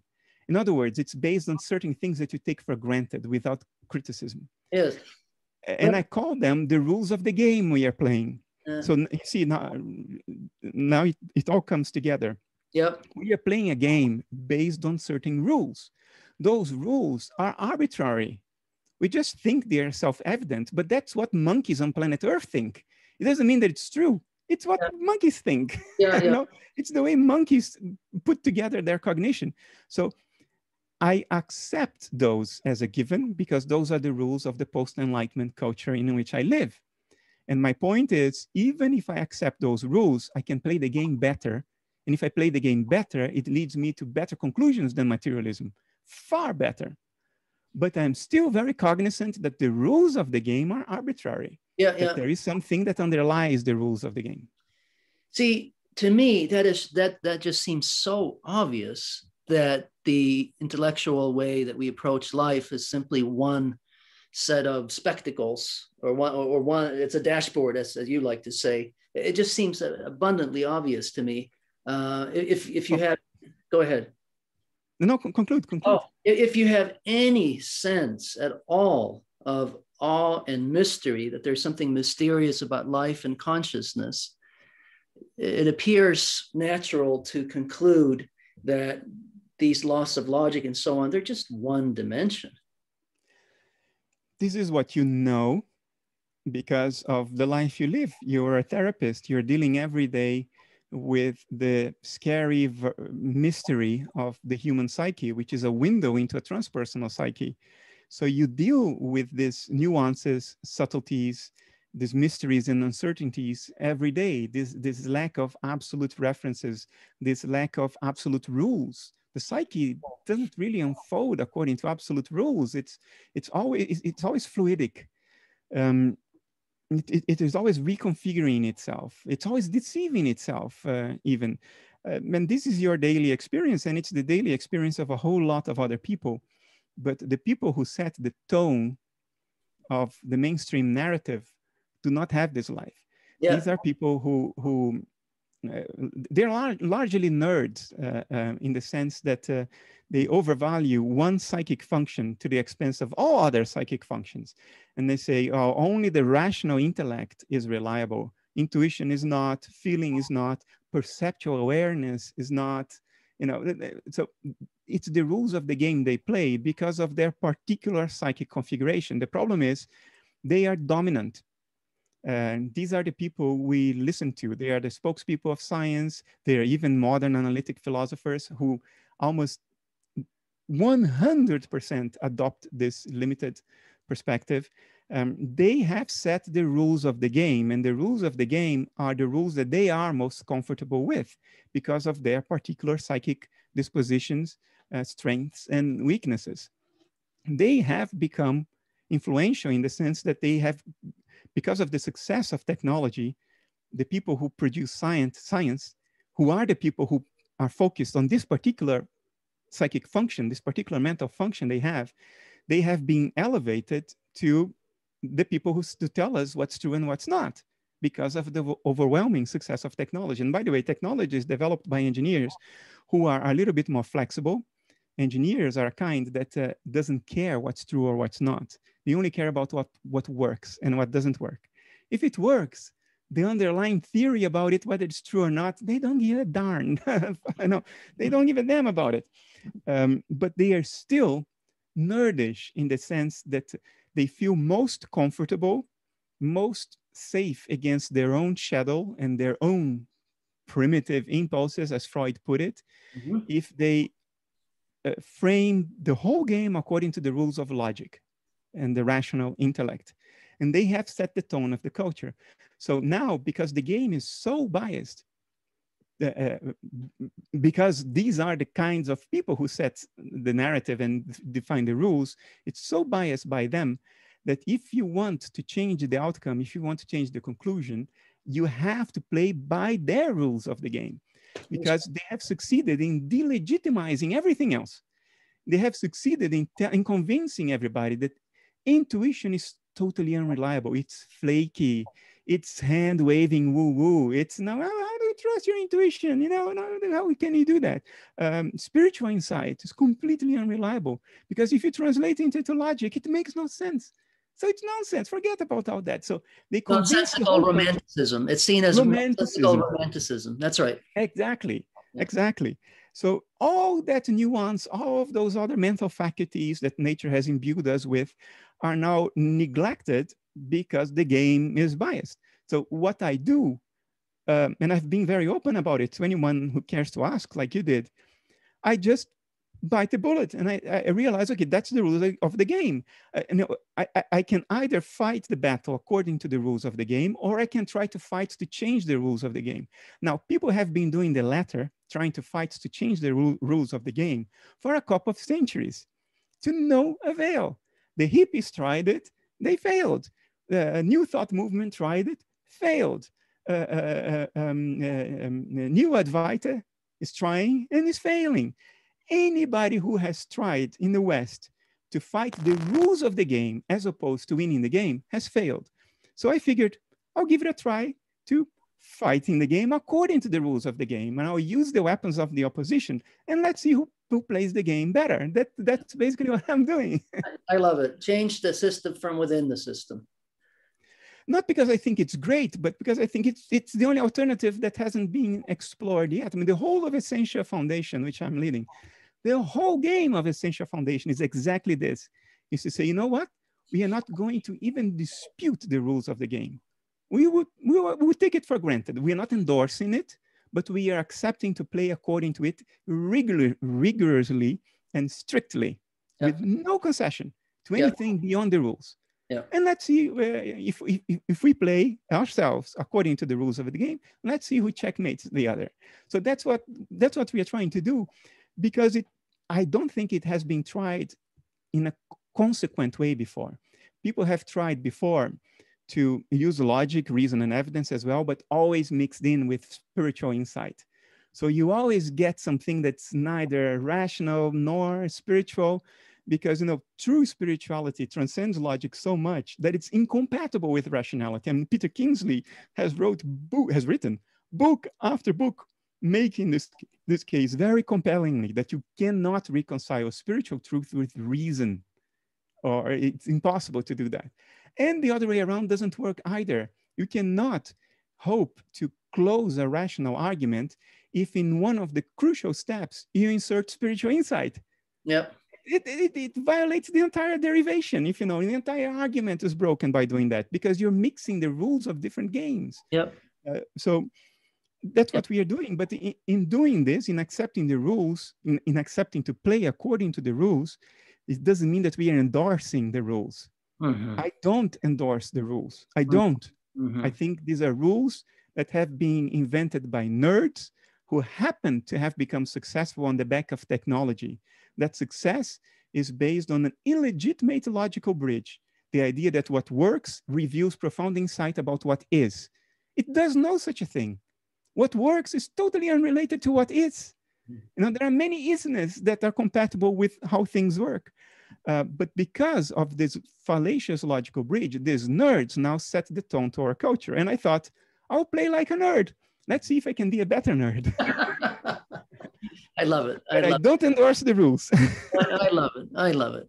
So I'll, I'll presume some common ground around the idea that it's possible when we philosophize and, and think about all these matters that we can become more and more divorced from our instinctual life, our carnal life, our, our heart of hearts, that that is a risk inherent in the act of philosophizing and thinking about the truth, right?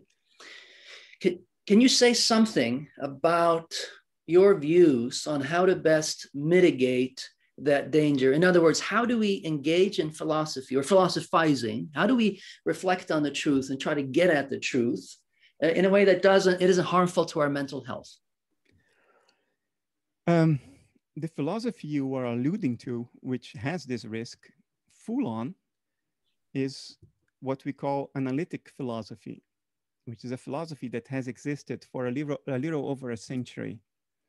It began with Whitehead, with uh, Bertrand Russell in the early 20th century, arguably with uh, the early Wittgenstein.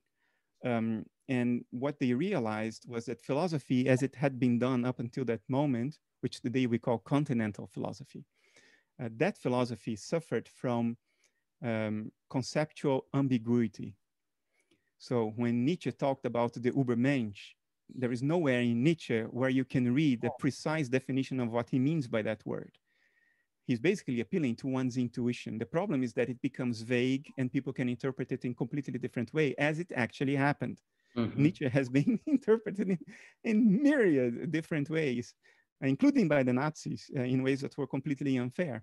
Mm-hmm. But he left that door open because of his conceptual ambiguity. Yep. Uh, and analytic philosophy was created in the Anglo-Saxon uh, schools, so England, United States, um, in order to combat conceptual ambiguity. So they figured that they would do philosophy in a different way by being very precise about what they meant with each word. So an honorable goal, the problem is that it became very quickly translated into uh, uh, detached conceptual narratives. Philosophy lost its connection, connection with our true being, with our heart of hearts, with our felt relationship to ourselves and the world. It became a, a game of, of thoughts, conceptual thoughts in our heads, um, uh, which, which is in, indirect at best it became di disconnected from direct experience. It became purely conceptual. It became spiritual in a psychological sense. Uh, it sublimated our, our being, the, the integrity and, and, and the holistic nature of our being uh, in the name of abstraction. And that happened not only to philosophy, it happened to science. Science today is a game of pure abstraction, foundations of physics. There are a few people combating that. Uh, Sabine Hossenfelder is one that is playing, is fighting a very honorable, but probably losing fight, trying to bring uh, physics back to reality, as opposed to a game of pure abstraction, as cosmology and foundations of physics are are becoming today. So this is an, a, a psychological affliction that humanity is undergoing as a whole um, throughout the 20th and now into the 21st century. It's fairly recent in historical terms, but it affects philosophy and affects science as well. We are losing our connection to the ground of reality and we are going all the way into pure abstraction. So in that sense, philosophy is dangerous Science too is dangerous for exactly same exactly the same reason.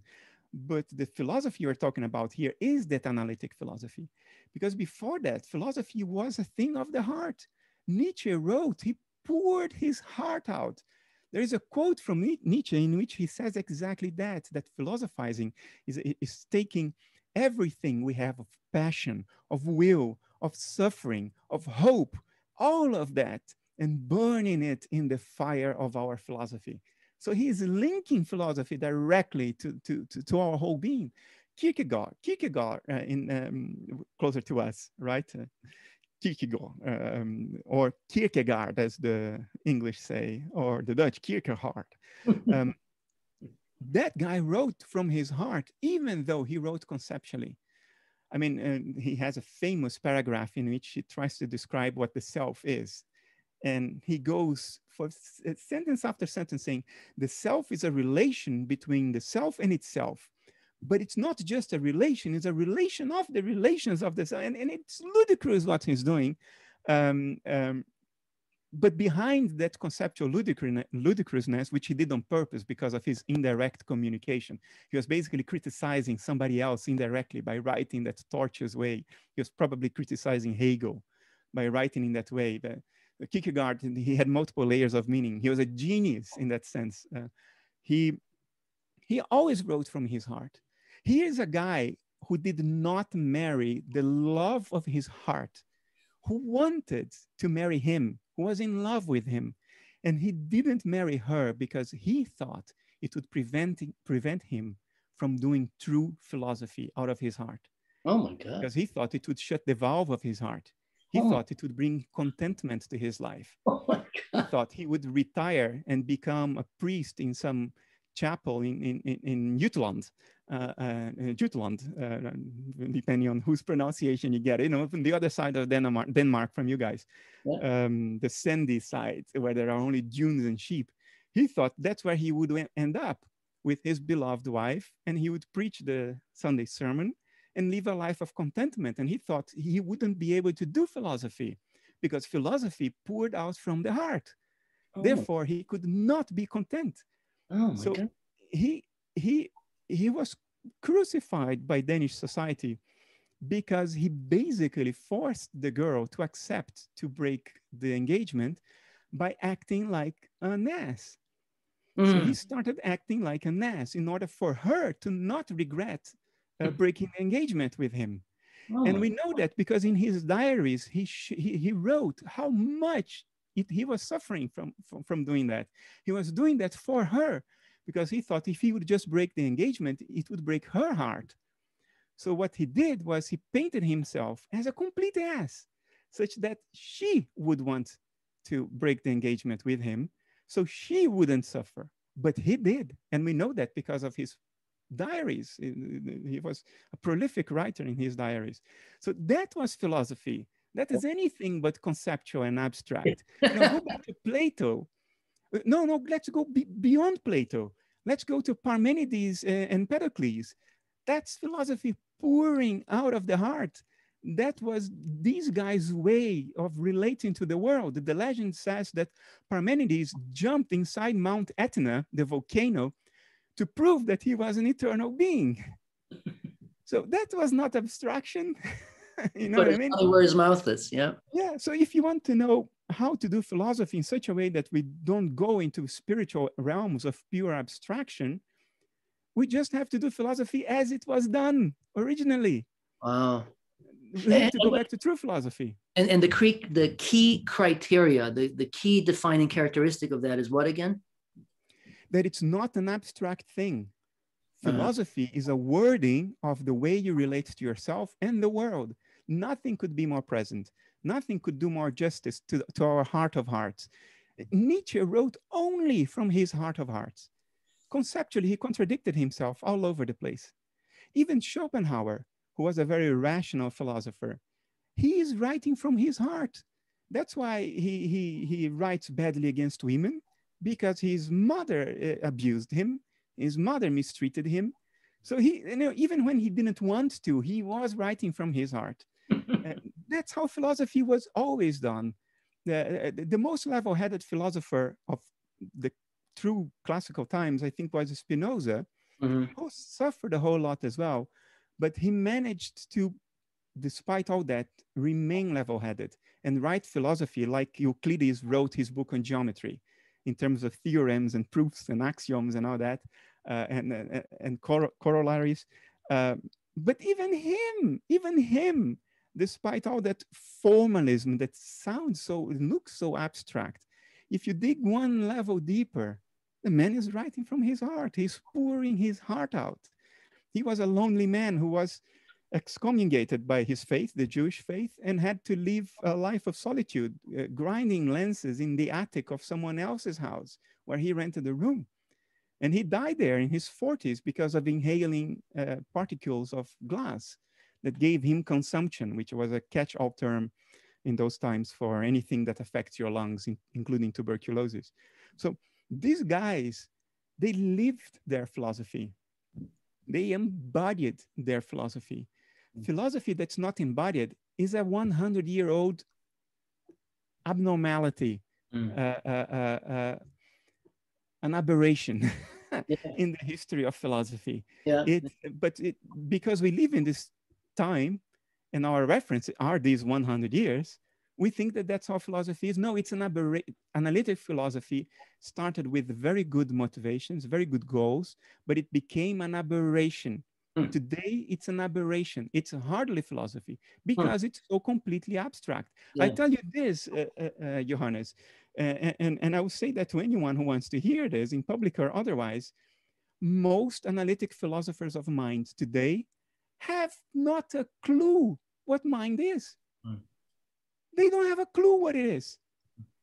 They, they have zero introspective power. Well, not all of them, but many of them have hardly any power of introspection to have a clue of the subject of their study, yet they are writing theses and books on mind when they don't have the faintest idea what mind actually is. That's why you have whole schools of analytic philosophy saying today with a straight face that mind doesn't exist, that it's an illusion.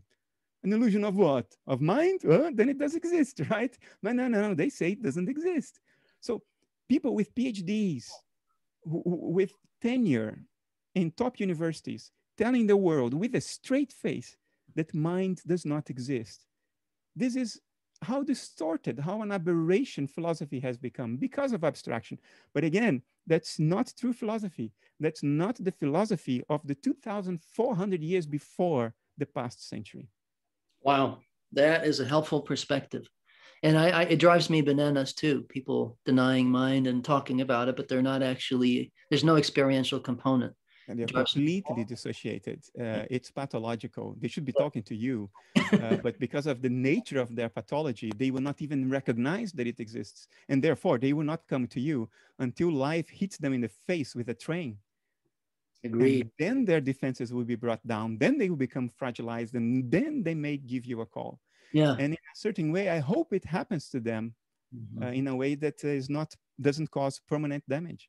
Yeah, yeah, I agree. When you spoke about Kierkegaard, I I um, I had the thought that what he did there was either incredibly admirable, or and or some something also self punitive of a self punitive nature, huh? I was not. Uh, it was not my intent to pass judgment on uh, Kierkegaard's philosophy. So I'm, I'm, I'm, I didn't mean to say that it was good or bad, proper or improper, No, no right or wrong. Yeah. Uh, my intent was to say it came from it poured out of his heart. Yes, Uh, yes, obviously, obviously. But think about that giving up the love of your life. I mean, either that's incredibly admirable or there's something self flagellating about it as well, huh?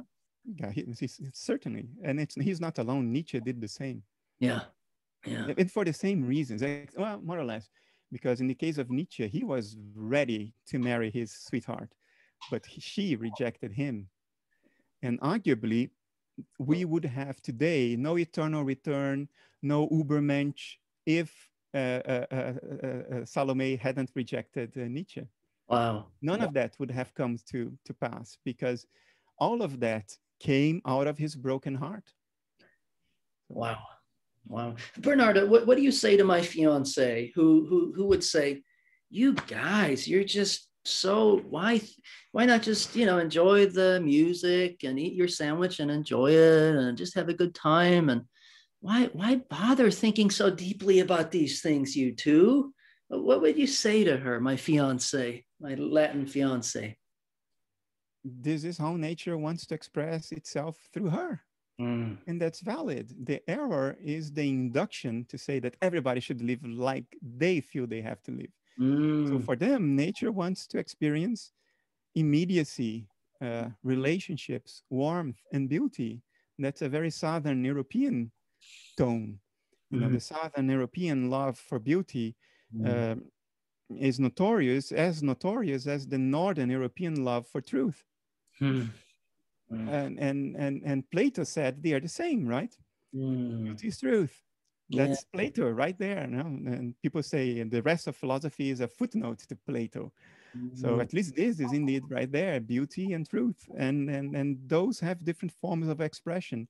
I certainly have an appreciation for beauty, but my, my spirit, if I use the word metaphorically, is definitely a Northern European spirit uh, and I'm much more oriented towards truth. Yeah. Beauty for me is, is my off time.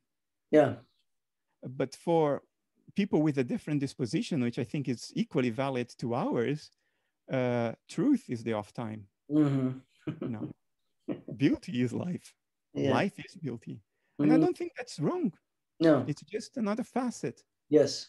Yes it's i'm so fascinated by this. Bernardo we've, we've touched on a little bit of sociology which really lit me up. It was it tickled me. Um, and, and if my following question is too personal i completely understand that you can just reject it. Uh, but but i i find myself curious about your politics. Um, you mentioned you know you mentioned you made a reference to trump and you were like don't make any assumptions about me. And so this oh, is yeah this is my curiosity, but if it's too personal, I completely understand. No, look, I I don't. If if I acknowledge a label of liberal, then I would immediately acknowledge the label of conservatism, or I would reject both. But I, my politics is, and that's what that's my beef against uh, the political wisdom of these days everything has to be classified according to some label. Everything has to go into one drawer, mm-hmm. as if our problems were so simple that we could categorize the solutions into two sides. Mm-hmm. I, I, am afraid that that's not even remotely plausible or realistic. Our problems are way too complex for us to classify approaches to the solution in terms of this or that, this versus that. Uh, I think if one is thoughtful, one is either both liberal and conservative or neither. I prefer neither. but a lot of people would uh, see me issuing certain opinions or um, reasoning in a certain way, uh, if they are close to me in my personal life, and they would say, Bernardo is a conservatist. And a whole lot of people would see me acting in a different context or speaking about other things, and they would say, Bernardo is a complete liberal. He's out there sticking his neck out for the rights of the LGBT community. How do you call somebody like that? He's a liberal. Yeah, but Bernardo is also a Jungian, and a Jungian honors uh, those archetypal templates that, that have governed human life since time immemorial. So Bernardo is a conservative. I, I like that you're not a postmodernist. I find that so refreshing. Uh, I, I certainly am not a postmodern relativist. No, Thank I God. think our lives are grounded in nature, and I don't think uh, nature has changed appreciably in the few thousands of years of human history. Yeah. I think we have solid grounds yes. to stand on. Yes, so, uh, so my politics is one that would be unrecognizable uh, if described in only a few words. You could only have an idea of my politics if you would have a whole set of examples of what my positions are on different issues. Only then you could begin to have a smell of my politics. It's not something I can convey like you know, corral into a simple statement based on labels. And I mm-hmm. think, and, and maybe even arrogant, I think it's a great error to try to classify things into well-known categories in politics because it makes us thoughtless. It hides all the nuance, subtlety, and complexities of the problems we face from us and we literally become innocent and stupid. And, uh, and Jim uh, Hillman, James Hillman, the great psychologist, you know, uh, who died uh, 10 years ago, he used to talk of um, the American love for innocence. Uh, and he used America an example because he, he was American, so he would only talk about his, his country. But that love for innocence is more widespread than, than we admit to ourselves. It does not restrict itself to America. And it's the idea that it's good to think simplistically. It's good to think in absolute categories, like there are good people and there are bad people. And the good people are only good and the bad people are only bad. Mm. That, that's how a child thinks once you mature and you have experience, you realize that there are many more nuances to this. Things are not always that clear. There is a lot more complexity. But uh, we have elevated this love of innocence to the level of a social value. It's good to be an innocent adult, to be an adult who still thinks in terms of good people are only good and bad people are only bad, and it's the good versus the bad. So the 65 year old thinking like that, well, hey to you, you're on the right path. I mean, this is ridiculous. This is like a total denial of maturity. It's not okay to be immature. it's totally... not okay. It's inevitable as a phase of life, but it's not okay to fall in love with immaturity and elevate that to a value. And that's what we are doing. So I completely agree with what everything you just said there. And but I see another impulse in Europe that I see as not maybe not equally dangerous, but also problematic. And that is the inability to take a stand for something, that you always see both sides of everything, that you can't just slam your fist in the table sometimes and say, God damn it, I'm not okay yeah. with this. And, and that that's a huge problem. Yeah, it's a lack of spine. Yeah, and, uh, and you know this uh, there, there's there's the scent of what you just said is in um, postmodernism, uh, um, in relativism, the idea that uh, you know nothing nothing is absolute because that, that's the other side of the coin. To think only in terms of absolutes is as bad as to say nothing is absolute. We stand on no ground. Everything is relative. So and then you quickly go into total moral relativism. Yeah. You quickly go into uh, having no uh, ontology. Nothing's true and from there, it's a very quick, slippery, slippery slope towards uh, nihilism, towards meaninglessness. Because if nothing's absolute, if everything is relative, if everything is made up by ourselves, like post-structuralism, everything is made up by ourselves. And you're correct in associating this with streams of European thought, particularly French. Um, and not to discriminate the French, it, it was just louder on, on that part of European culture um, I think it's an equal danger. It's not the other to, side of the yes. coin. Yes, not to mention that to say that everything is relative is an absolute claim. yeah, indeed. indeed. You know, it's like yeah. there's no consistency at all there. Um, okay, this makes sense. So you're right that the only way to have any more clarity is to be be issue specific. Do you have any concerns at all about the about the authoritarian impulse that we're seeing more and more in the world uh, in terms of um, a corrosive force when it comes to democracy? Uh, look, most philosophers throughout history uh, will tell you that uh, democracy is a very problematic way of government. It has fatal weaknesses. But most of them will immediately rush and say, but we do not know anyone that's better. we do not know a better way of government because the alternatives have been tested. And although some have worked for quite a while, ultimately they have all proven catastrophic. Um, and the, the democracy experiment is an ongoing experiment. It has been tried in Greece, in At well, in Greece, in Athens, in Attica, one province of Greece. And it had a disastrous end. Athens was governed by a democracy during the 30 year long war against Sparta. Uh, which the Athenians lost. And, uh, and that was probably because of their form of government, which was a democracy. Well, democracy between quotes, because more than half the population of Attica was made of slaves. and those didn't vote. um, and women didn't vote either. So democracy, democracy between quotes. But um, the inefficiencies of democracy arguably led to the loss of Athens in the war against Sparta, which was not a democracy. It was an aristocratic uh, society, a war, uh, warrior society. So the we had that experiment very early on, two and a half thousand years ago. It failed. Now we are trying that experiment again.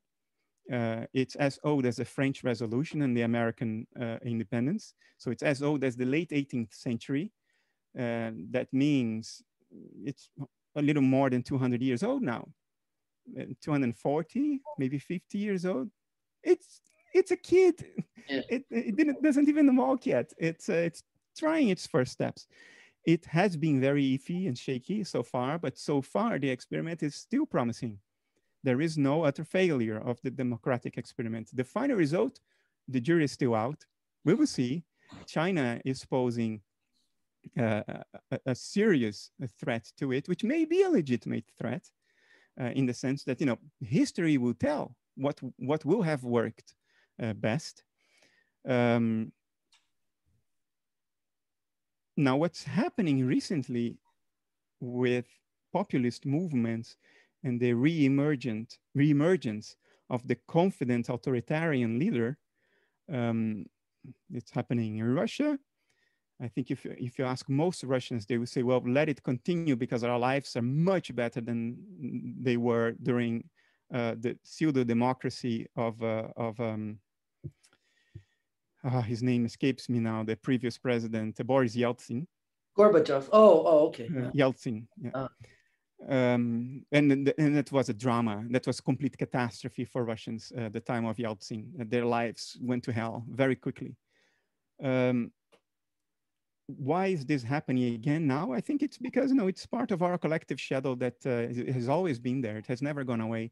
It's it's it rears its ugly head up from time to time. It has done that with the Nazis, uh, with the fa fascists of Italy, the Nazis in Germany, um, um, even in places you wouldn't expect uh, this has happened. You know, I'm Dutch. Uh, um, just the other day, I watched the Dutch movie about how the Dutch reacted to the independence movement of Indonesia uh, just after the Second uh, World War, and uh, and it was a bloodbath. Uh, you know what the Dutch did in Indonesia. It's something to be ashamed of, as much as the Germans have something to feel ashamed of. Um, singling out the Germans, I think, is a profound historical injustice.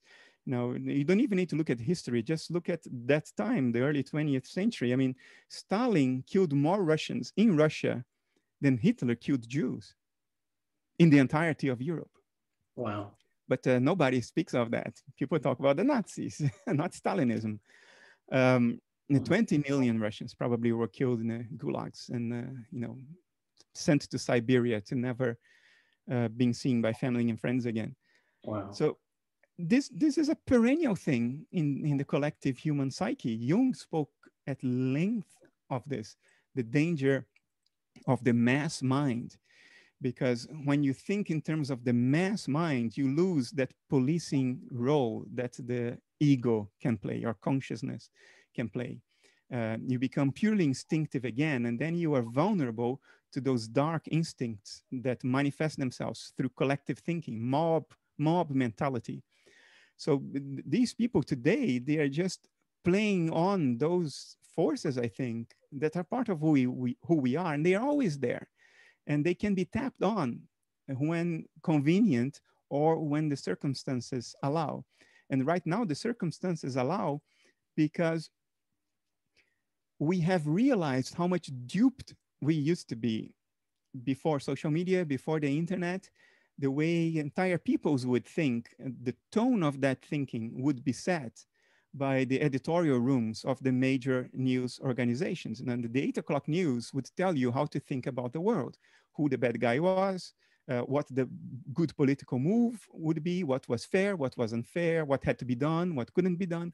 We were told that by the by mainstream uh, media, and we accepted that just as you know, a fact of reality. They are telling us the truth about it. Um, and everything was harmonious because there was no conflict. The tone was being set by, by those organizations and only rebel movements, niche rebel movements would defy that, like the hippies uh, tried to defy that, like uh, Um, punk and new wave uh, tried to define that later on in the early 80s, but they were considered niche and mm-hmm. you know in the periphery of society. Uh, but now we realize that uh, the issues back then were much more nuanced than they seemed to be based on what the media communicated to us. And we realized that we were maneuvered in certain directions. And this realization is true. That's the part that hurts the most. Yes. It is true. We have been manipulated all the way along. And now, because we are angry about that, and we don't want to be manipulated anymore, now we swing all the way to the other side and we become vulnerable as prey to the populist people who will be doing more manipulation yet. Yeah. They are doing worse than the mainstream media did, but they present themselves as the alternative to that. So they are preying on a valid insight that we have had collectively as a culture.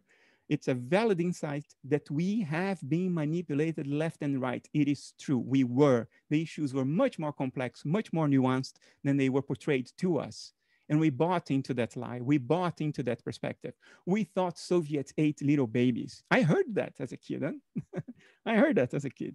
The Soviets are bad people because they eat little children. Well, I happen to have been married to a Russian for over 15 years, and I know they have a lot more in common to us than we would have a dare think back in the 80s. Uh, so we had a valid insight that I think unscrupulous characters who are driven by a narcissistic search for power are now preying on to do the same 10 times worse to us because we are in a moment of vulnerability. I agree. I agree with you. And, and part of what makes us so vulnerable, isn't it? It's this innocent project, this seeing the world in black and white terms, like I'm exactly. good, I'm innocent. That makes us so vulnerable to manipulation. So because it kills thoughtfulness. Yes, it does. And if it kills thoughtfulness, if you kill thoughtfulness in yourself, you are a prime target for manipulation. For Indeed. somebody who will say, You have been deceived so far, let me tell you the real truth. Actually, yeah. that real truth is 10 times a deception, but we are vulnerable. That's right. And the bad is out there. It's the immigrants yeah. or whatever. It's not inside of me. It's yeah, out there. It's the other guys. Yeah, it's the other guys. Yeah. Would you would you rather live in a society where everyone pitches into the common good through taxation, or or do you prefer do you prefer more of a um, uh, libertarian type society where everyone tries to pull their own weight? I live in a country where I am taxed for more than half my salary at the source. So I don't even get to see more than half my salary in my bank account. And then I am taxed left and right 20% on everything I buy. I'm taxed 1.25% a year on my savings, even if I don't make a penny on them. Oh my. Um, I am taxed for the right to rent my house and make a profit out of it, even though I live in my house and therefore I don't rent it and I don't make a profit out of it. I'm still taxed on the profits I could have made if I rented my house. Oh. That's the country where I live in. And I will tell you, I think taxation is unavoidable if we are to live in a decent, compassionate society. Well, yes, but it sounds like it's a little overboard in your country. Overkill, no? I will go out there and say, in my country, it's not because I see that money coming back in how my street is maintained, the facilities that are available to me, the conveniences I have, um, the healthcare system that, uh, that uh, secures my safety. I pay health insurance uh, many times more than a very poor person would pay, although the poor person pays too. Uh, but I land in the same hospital the poor person would land because there is no differentiation in the Netherlands. Um, we've made a decision in the Netherlands uh, prior to my birth um, that uh, when it comes to healthcare, making any differentiation is opening the door for allowing a certain type of person to die. And we figured that is completely unacceptable. And the only way to preclude this from ever happening is to make sure that there is never differentiation because then the people with power and money will make sure that the health system that they are depending on, never mind the poor guys depend on the same health system, but the powerful and rich people will make sure that that health system is good enough for them. Therefore, it will be good enough for everybody. Yep, yep. Or if it's not good enough for everybody, then it's not good enough for anyone. because it's the same for everyone. And, and that is done also on the basis of indirect taxation. I pay a lot more for private health insurance than a poor people pays for private health insurance. We are obliged by law to have health insurance. If you don't have money to have private health insurance, the government will give you the money for you to pay for your private health insurance, and then you have to pay taxes on the money you got from the government to the government. in other words, everything works as if you made your own money, even if the government is giving you money. And the idea is you're responsible for it. So although we are giving you money, you have to pay taxes to us on the money we are giving you, as if it were a salary paid by a company. I think that adds up. That adds up. It works for us. Mm-hmm. Uh, now, the Netherlands is a country of 17 million people, uh, a country with basically five cities, three of which are merging together and becoming wow. one. Yeah. So, yeah, three cities then. Yeah. Um, and it's completely flat. Um, and it has a long history in which Dutch people had to unite to save their lives from the sea, to save their lives from the Germans, you know, we, we, have a long history of, of, having to cooperate at the broadest collective level in order to not die. Because, you know, half the country is two or three meters below sea level. If tomorrow everybody stops maintaining the pumps that keep the land dry, uh, half the country is underwater and more than half the people. Um, so wow. it works for us given this set of circumstances. But in a continental country like the US, with so much variability in values, in culture, in origin, in history, very little history compared to Europe, it, it may be a difficult thing to do. I recognize that. So I'm, I'm, not going to sit here and say the whole world should be like the Dutch because I know it's not realistic. Yes. The whole world has to find their own solutions which fit for their own local circumstances. Uh, but I'm happy with the Dutch solution. I pay taxes well, I am not say that I am never unhappy. There are moments that I think I think like, darn, it's too much. You know, that, you know, I, I get knifed left and right. You know, um, but uh, in general, uh, I'm happy for it. I would go as far as to say that a universal income is a good thing to do, and I think the Netherlands should do that uh, because it would pay back to us, people who are working. It, it would pay back.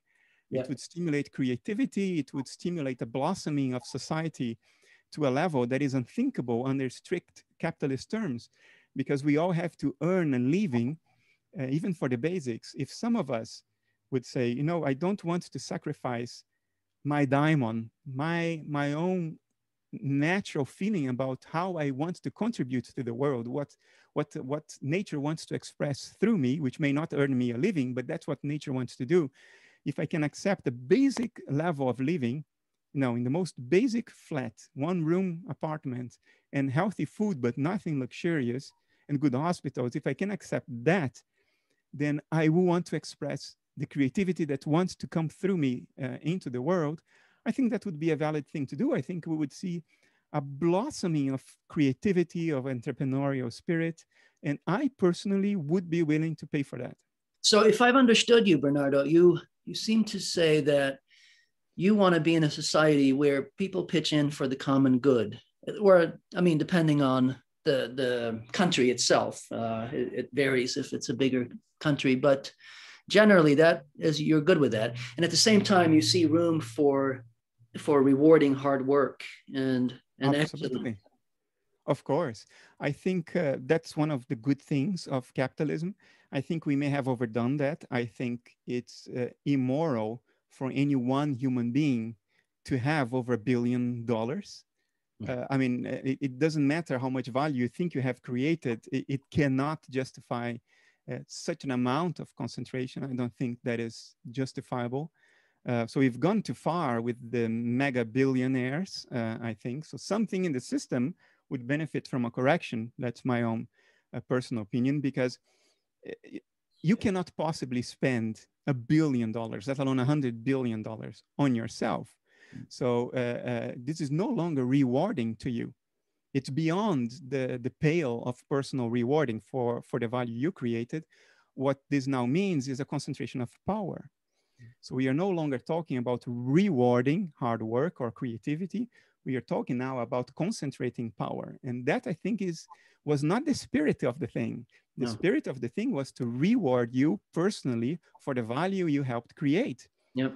But you know, no human being can spend a billion. Don't tell me that a human being can actually spend and benefit from a hundred billion dollars. I mean, you mm. have to live in many, many houses at the same time and mm-hmm. ride many, many yachts, yachts at the same time. I mean, and, and, and I don't know, have many, many wives at the same time. And there are many things that have to happen, have to happen at the same time for you to be able to interpret that as personal reward for the value you created. So now we get into the realm of concentration of power. And I think that defies the spirit of this point of capitalism. So I think it, uh, uh, uh a correction uh, a correction would be would be yeah. Uh, appropriate uh, at this point. Um, I'm struggling to see your conservatism. I don't. I can't see it. um, everything that you would call conservative in Jung, you could say the same about me. I think we are driven by archetypal patterns of behavior I think uh, religion is not insanity. I think it's an expression of something that uh, we are rooted into. I think we need a religious life. I think worship is a fantastic thing. I think liturgy is important.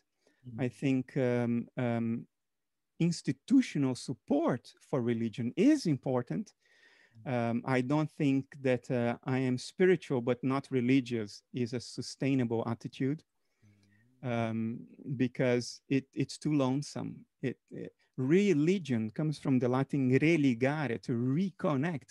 And you cannot reconnect if you're a lonesome, spiritual, but non-religious person. Where is your sense of community? I think religion is a valid binding mechanism for a community.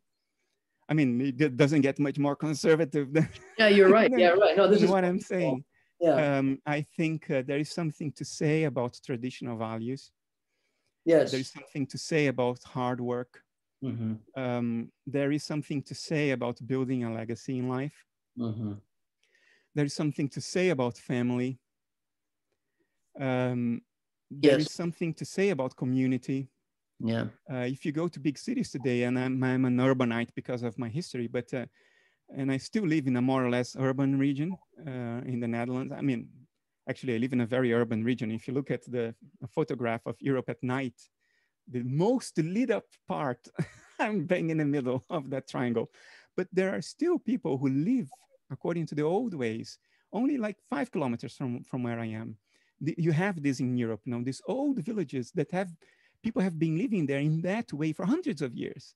And although they have a new vocabulary today and they, they ride tractors instead of, instead of horses, they're, they're, their, their glasses through which they see the world is, are still the old glasses, if you know what I mean. Mm-hmm. Uh, I, I, I, I, I like to go to a, to a place uh, in a village, I think eight kilometers from where I am, where they brew beer and they have been brewing beer there for 800 years. That beer. Wow. the vats are new because, you know, metal corrodes. but the room is not. It's the same place, you know, it's the same bricks on the wall and it's the same recipe.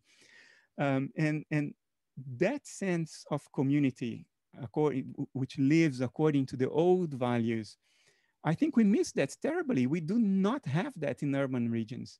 Mm-hmm. We have completely lost our sense of sense of community, and we are trying to replace that with mm-hmm. social media, mm-hmm. which isn't a replacement. It isn't human. It, it has its value, but it, it it's not fully human. Um, and I love to spend time in these villages where people speak, you know, old Dutch still that sometimes even have hard time understanding what they're trying to say. And they are just a couple of kilometers here down the road, and they already speak uh, differently. And the way they relate to nature, um, the way they uh, relativeren is the Dutch word. I think in English the translation would be the way they put things in perspective. Mm. Uh, they put everything in a broader perspective if uh, if the farmer uh, if the, the corn is halfway grown and then there is a hailstorm and destroys his corn crop he if he were an urbanite he would go in despair and and start taking uh, antidepressants. But they don't. They relativize. They put it in perspective. Mm. you know they realize that they are parts of a much bigger thing going on. And there, there is a sort of mute wisdom to that, uh, a, a, calm way of relating. And, and that calmness, I think, arises from the fact that these people are not uprooted. They, they are living, they, they, they are in some way aware that they are the continuity of a way of life and a philosophy of life that has been going on for hundreds of years. They are the tip of the spear formed by all their ancestors and the ancestors of their ancestors. And in that sense, they are small but very important because they are one in a long chain in which something has been conserved, something of deep meaning has been conserved, a certain attitude towards the, wor- the world. This is conservatism. Yeah, the essence, Literally. the real, the real essence of it. Yeah, not the yeah, joke. And I think we miss that. Yes. I think uh, pure liberals are blind to this. They don't see this. Yes, I, I uh, agree with you. I went to I went to college at a place where to mention uh, femininity and masculinity as different things, uh, you would be crucified for that. Seriously. So, and that's a liberal school. Yeah, yeah, yeah, yeah, yeah.